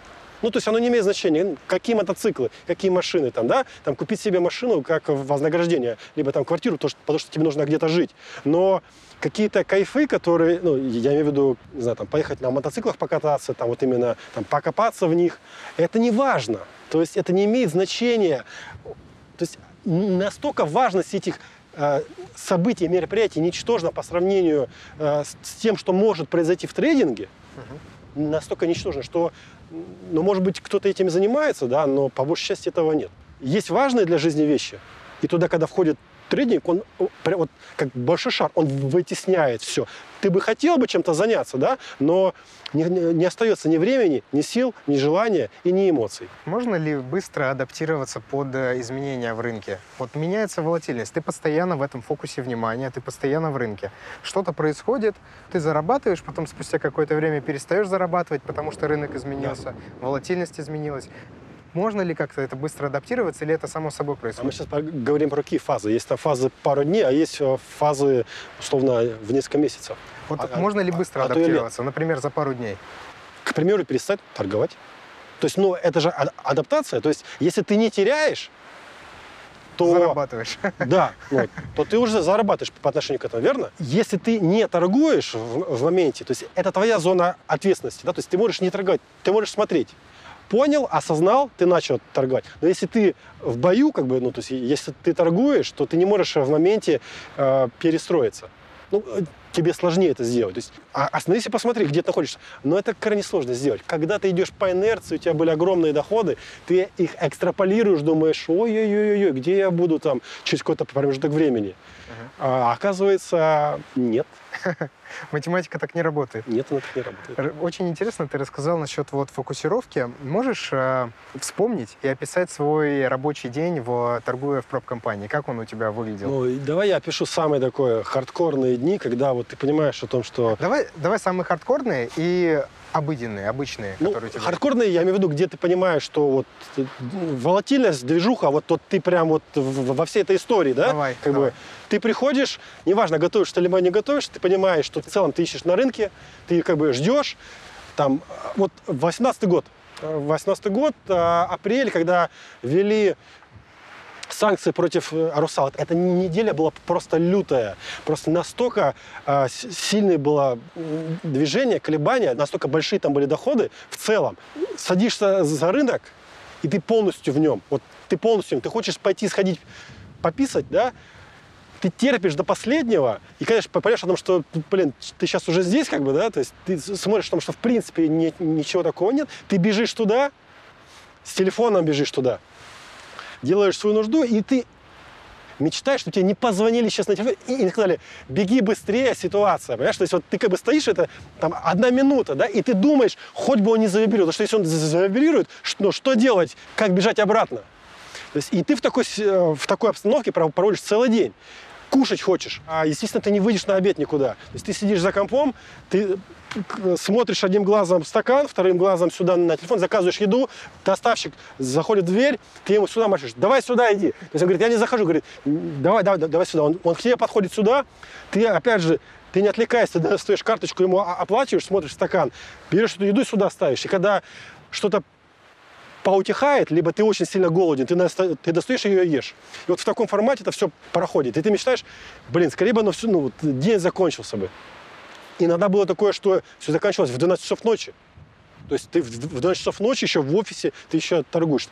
Если говорить про обыденный день, ну, про классический, да, ты идешь на обед, кушаешь, Возвращаешься, торгуешь. Возвращаешься, торгуешь, а, можешь походить, поговорить с кем-то. Ну, то есть а, а, обычно классический день – это когда нету чего-то сверх такого естественного. Если ты будешь сфокусирован, да, ну, вот, а, то есть тебе, ты понимаешь о том, что тебе нужно заработать деньги, тогда ты будешь сидеть и точно так же проводить. Но ты понимаешь, что ты потратишь сильно больше усилий, эмоций и нервов, а заработаешь меньше.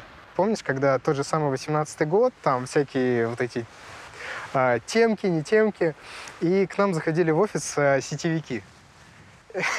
Были такие достаточно нас- настойчивые сетевики, которых мы посылали просто вообще в открытую. Да ты чего пришел? А он еще подходит, что-то объясняет, рассказывает, там продает. Как его давай там трехэтажным посылать? Да? Люди вообще, конечно, не знали берегов. Ну или а, человек пошел в туалет, ты ему звонишь, и он просто вбегает в офис, он, он просто Да, бежит, как. бежит к, к терминалу, а, спрашивает, Че, куда? да, прыгает и вот про- просто даже не, не глядя заходит, либо еще что- что-то делает. Ну, то есть все доходило до, до такого. Это команда в трейдинге. Ну, как раз-то вот о команде. Как ты считаешь, это важно для, торгов... для трейдера, Да, торгующего внутри дня? Конечно. Что дает команда? Поддержку, если можно назвать обучение, когда вот я чуть выше, э, я, рассказывал о том, что такое обучение, да? Да. Это моделирование, это конкуренция. Есть э, в хорошем плане и в плохом. В хорошем плане, что ты понимаешь, что это возможно. Вот как вот э, мы тоже сегодня обсуждали э, фразу о невозможном, да? Да. Многие люди считают, что некоторые вещи невозможны. Ну, ну, ну, невозможно. То есть, если будет интересно, мы более подробно можем об этом поговорить. Но Давай.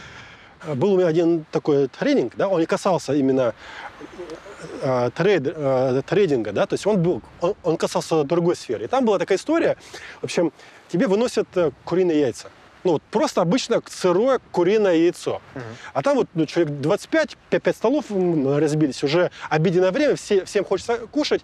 И тут человек говорит, вот вы берете это куриное яйцо и ставите на, на острый конец его. Вот тут, да? Убираете руки, и чтобы оно стояло и не упало. Кто так сделал, идет кушать. А там столы такие глянцевые, оно скользкое, да? ну, ты, ты, ты ставишь, оно скользит, оно падает. Ну, это невозможно. То есть, и все сразу сказали, что это невозможно. Это невозможно сделать. Это невозможно. А все начали делать, там, э, бухтеть, ворчать. Собственно, про- прошло чуть-чуть э, времени.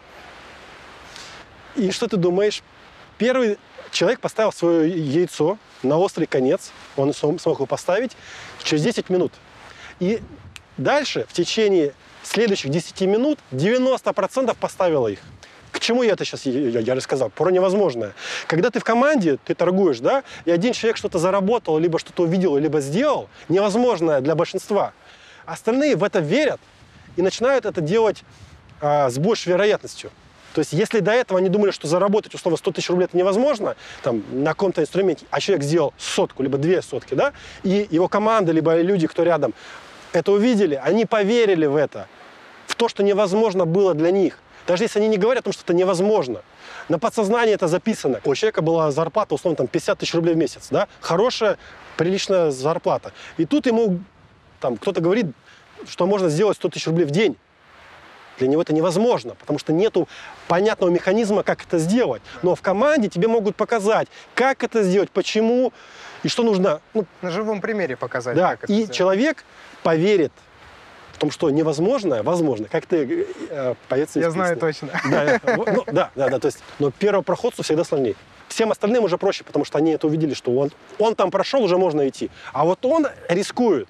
Вот если мы тут э, спускались бы сейчас вниз, да, кто больше рисковал? Тот, кто идет первый. Я, получается. Ну, ты, да, да, то есть, но если ты прошел бы, и мы увидели твою дорогу, да, мы спустились бы, и было бы уже безопасней.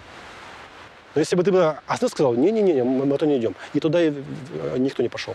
Кто-то сейчас сидит в тени, потому что когда-то давно посадил дерево. Да. Вопрос. А когда лучше начать инвестировать? Лучше всего было вчера, но на крайний случай пойдет сегодня. Это хорошо. Моя позиция такая, то есть если человек а, целом думающий о чем-то в будущем, то есть Да. он не живущий только сегодня, да, и он а, считает и думает о том, что капиталистическая система в целом будет стоять, и она будет в будущем, именно как капитализм, то у него нет другого варианта, чтобы а, не заниматься инвестициями в том или иной области. просто нету вариантов. То есть, если логически подумать. Если, конечно же, предположить, потому что придет э, коммунизм, там, вот, как вот в 1917 году в, в- в России была история, да, тогда лучше что-то купить там твердое, э, ну, куда-то в другое место там перевести, да. Я, я имею в виду вообще в целом мире. Но лучше это делать здесь и сейчас. Если тебе 18 лет, ну, возьми, откладывай ты там А тысяча рублей. ну, ну, ну что, ну, как, ну какую-то долю, да? Да. И это будет тебя мотивировать, это будет тебя стимулировать. У тебя будет подушка безопасности, но не будешь ты инвестировать. Ну окей, ты год-два ты позарабатываешь, у тебя скопится какая-то подушка. Вдруг ты не сможешь зарабатывать, да? У тебя не останутся деньги, будешь ты инвестировать, нет. Ну, кто его знает. Снимешь ты эти деньги, пойдешь там, э, потратишь, либо э, что-то на них купишь. Это неплохо. Вопрос только в том, готов ли ты инвестиции-то ограничить себя сегодня чем-то, а ради того, чтобы в будущем, возможно, получить чуть больше. Ну, как раз об этом и есть цитата. Да, возможно. То есть дерево может не вырасти. Оно может, э, ну, что-то с ним может случиться. Оно может засохнуть. Но если ты его не посадишь, ты однозначно его не получишь. То есть если ты этого не сделаешь, этого точно не будет. Но если ты его посадишь, у тебя есть шанс. То есть э, я лично к инвестициям так отношусь, что это есть шанс. А насколько высокий шанс, э, решать вам. То есть э, крипта, пожалуйста, кто-то считает, что там будет высокий шанс. Пусть это будет крипта. Америка, Америка, а Россия, Россия. Но только нужно думать, нужно брать цифры и сверять, а не просто слепо верить а, общему тренду и толпе. Толпа часто ошибается. Ошибается. То есть ну, нужно думать. Я всегда смеюсь над людьми, которые говорят, что никогда не встречали богатого приверженца технического анализа. Вы слышали это? Высокомерное и бессмысленное утверждение. Я пользовался фундаментальным анализом в течение 9 лет, но по-настоящему разбогател только как технарь. Вопрос. Какое у тебя отношение к фундаментальному техническому анализу? Что тебе нравится больше? Используешь ли ты и то, и другое, или что-то конкретное? Ну, Это разные Давай как э, торгующий внутри дня трейдер. Не как э, инвестор, а именно как торгующий внутри дня. Можешь как ответить? торгующий внутри дня. Да. Я могу согласиться с этим человеком, ну, то есть э, с, с- с тем, что он сказал. Потому что, ну, отчасти, да, б- большее количество людей на техническом анализе. Ну, потому что в технический анализ как бы входит фундаментальный анализ. То есть, если об этом говорить, Да. а, он вот как вот а, есть природа, да, и она описывается математически. То есть, е- ну, там есть фракталы, есть там еще какие-то истории, да, там есть а, всякие а, цифры. То есть, все в природе описывается, и все в природе циклично. Но это фундаментально. То есть, природа фундаментальна, но она так получается идет по е- если можно упростить, по графикам и, и по цифрам. То есть ее можно, грубо говоря, где-то описать. Соответственно, когда мы переходим к трейдингу, да, уже, то в технический анализ так или иначе э, вписывается фундаментальный, потому что он описывает э, психологию толпы, действия толпы где-то заранее. Но есть моменты, конечно, когда фундамент э, быстро меняется, то быстро меняется технический анализ. Но, по сути, ты можешь там это увидеть. К чему это отнести? К техническому анализу, либо к, к фундаментальному? А, в течение там, недели рынок, какая-то акция подрастала, потому что там были условно а, внутренние участники, которые верили в хороший отчет, в дивиденды, да, и скальперы там ну, внутри дня смотрели, потому что он подрастает и подрастает, да. В день выхода отчета она обваливается камнем низко и нивелирует весь свой вот, все это падение. С точки зрения технического анализа ты можешь увидеть пр- пробой там этой поддержки, да, с точки зрения фундамента объяснить, что это, это фундамент или это технический. То есть тут очень тонкая такая грань. Где фундаментальный анализ, где технический, если мы будем говорить внутри дня. Если говорить про более глобальные истории, там, про долгосрок какой-то, да, и средний срок, однозначно я здесь за фундаментальный анализ. То есть э, это, это очевидная история. Техника не имеет там, в принципе, смысла, да? Нет. Ну, э, она почти так же имеет смысл, как внутри дня технически, то есть она описывает, да, но прогнозировать по ней э, бессмысленно. Понятно. Потому да. что у тебя, ну, грубо говоря, компания дает дивиденд, либо не дает, да, то есть и ты, значит, этого строишь не потому, что она там растет и строит там какой-то канал наверх, а внутри дня проще и быстрее это сделать техническим анализом. Соответственно, если ты трейдер, торгующий внутри дня, тебе необходим симбиоз техни- техники и фундамента Ну, ну, для того, чтобы... г- график это технический анализ. Ну вот, график. Без графика кто торгует? Все торгуют с графиком. Ну, есть еще свечной анализ, который кто-то использует, Ну, возможно. Это настолько всеобъемлющий вопрос, Да. да, потому что свечи, какие свечи, Да. там, да, то есть э, Там еще всякие... точно ли графика свечи или, может быть, медицинские свечи, да? Ну, то есть вопрос, а график – это технический анализ. Свечи, они там уже, в принципе, есть. Есть тиковые, это все технический анализ. Линии поддержки и сопротивления – это все технический анализ. Но, но чтобы не путали, да, там э, всякие там МАГДИ, параболики, РСА и все остальное. индикаторы. Да, то есть когда математически график график, который есть, а, об- образуется, преобразуется в индикатор, вот это, ну, с моей точки зрения, хрень полнейшая. Ну, то есть, когда у тебя график математически пре- преобразуется, потому что индикатор это есть математическое Ну да. преобразование Благодаря формулам они там считают да. э, То есть и искать там какие-то аллигаторы, которые у тебя куда-то идут там и куда-то Это растут. странно, как минимум. Грубо говоря, да, Да. это весьма странно. То есть я к этому приходил там через алготрейдинг, потому что я ну, в это не верю. То есть я сам это делал и тестировал. И- ну и по, по сути все есть в графике. Да. Это есть технический анализ. Но вот я говорю про такой тех- технический анализ, про график и про понятные истории, которые не, э, не, не преобразованы математически. Саш, спасибо тебе за интервью. Надеюсь, было интересно, было полезно. Спасибо, что посмотрели до конца. И советуйте в комментариях, кого бы вы хотели видеть э, в следующих выпусках. Всем пока.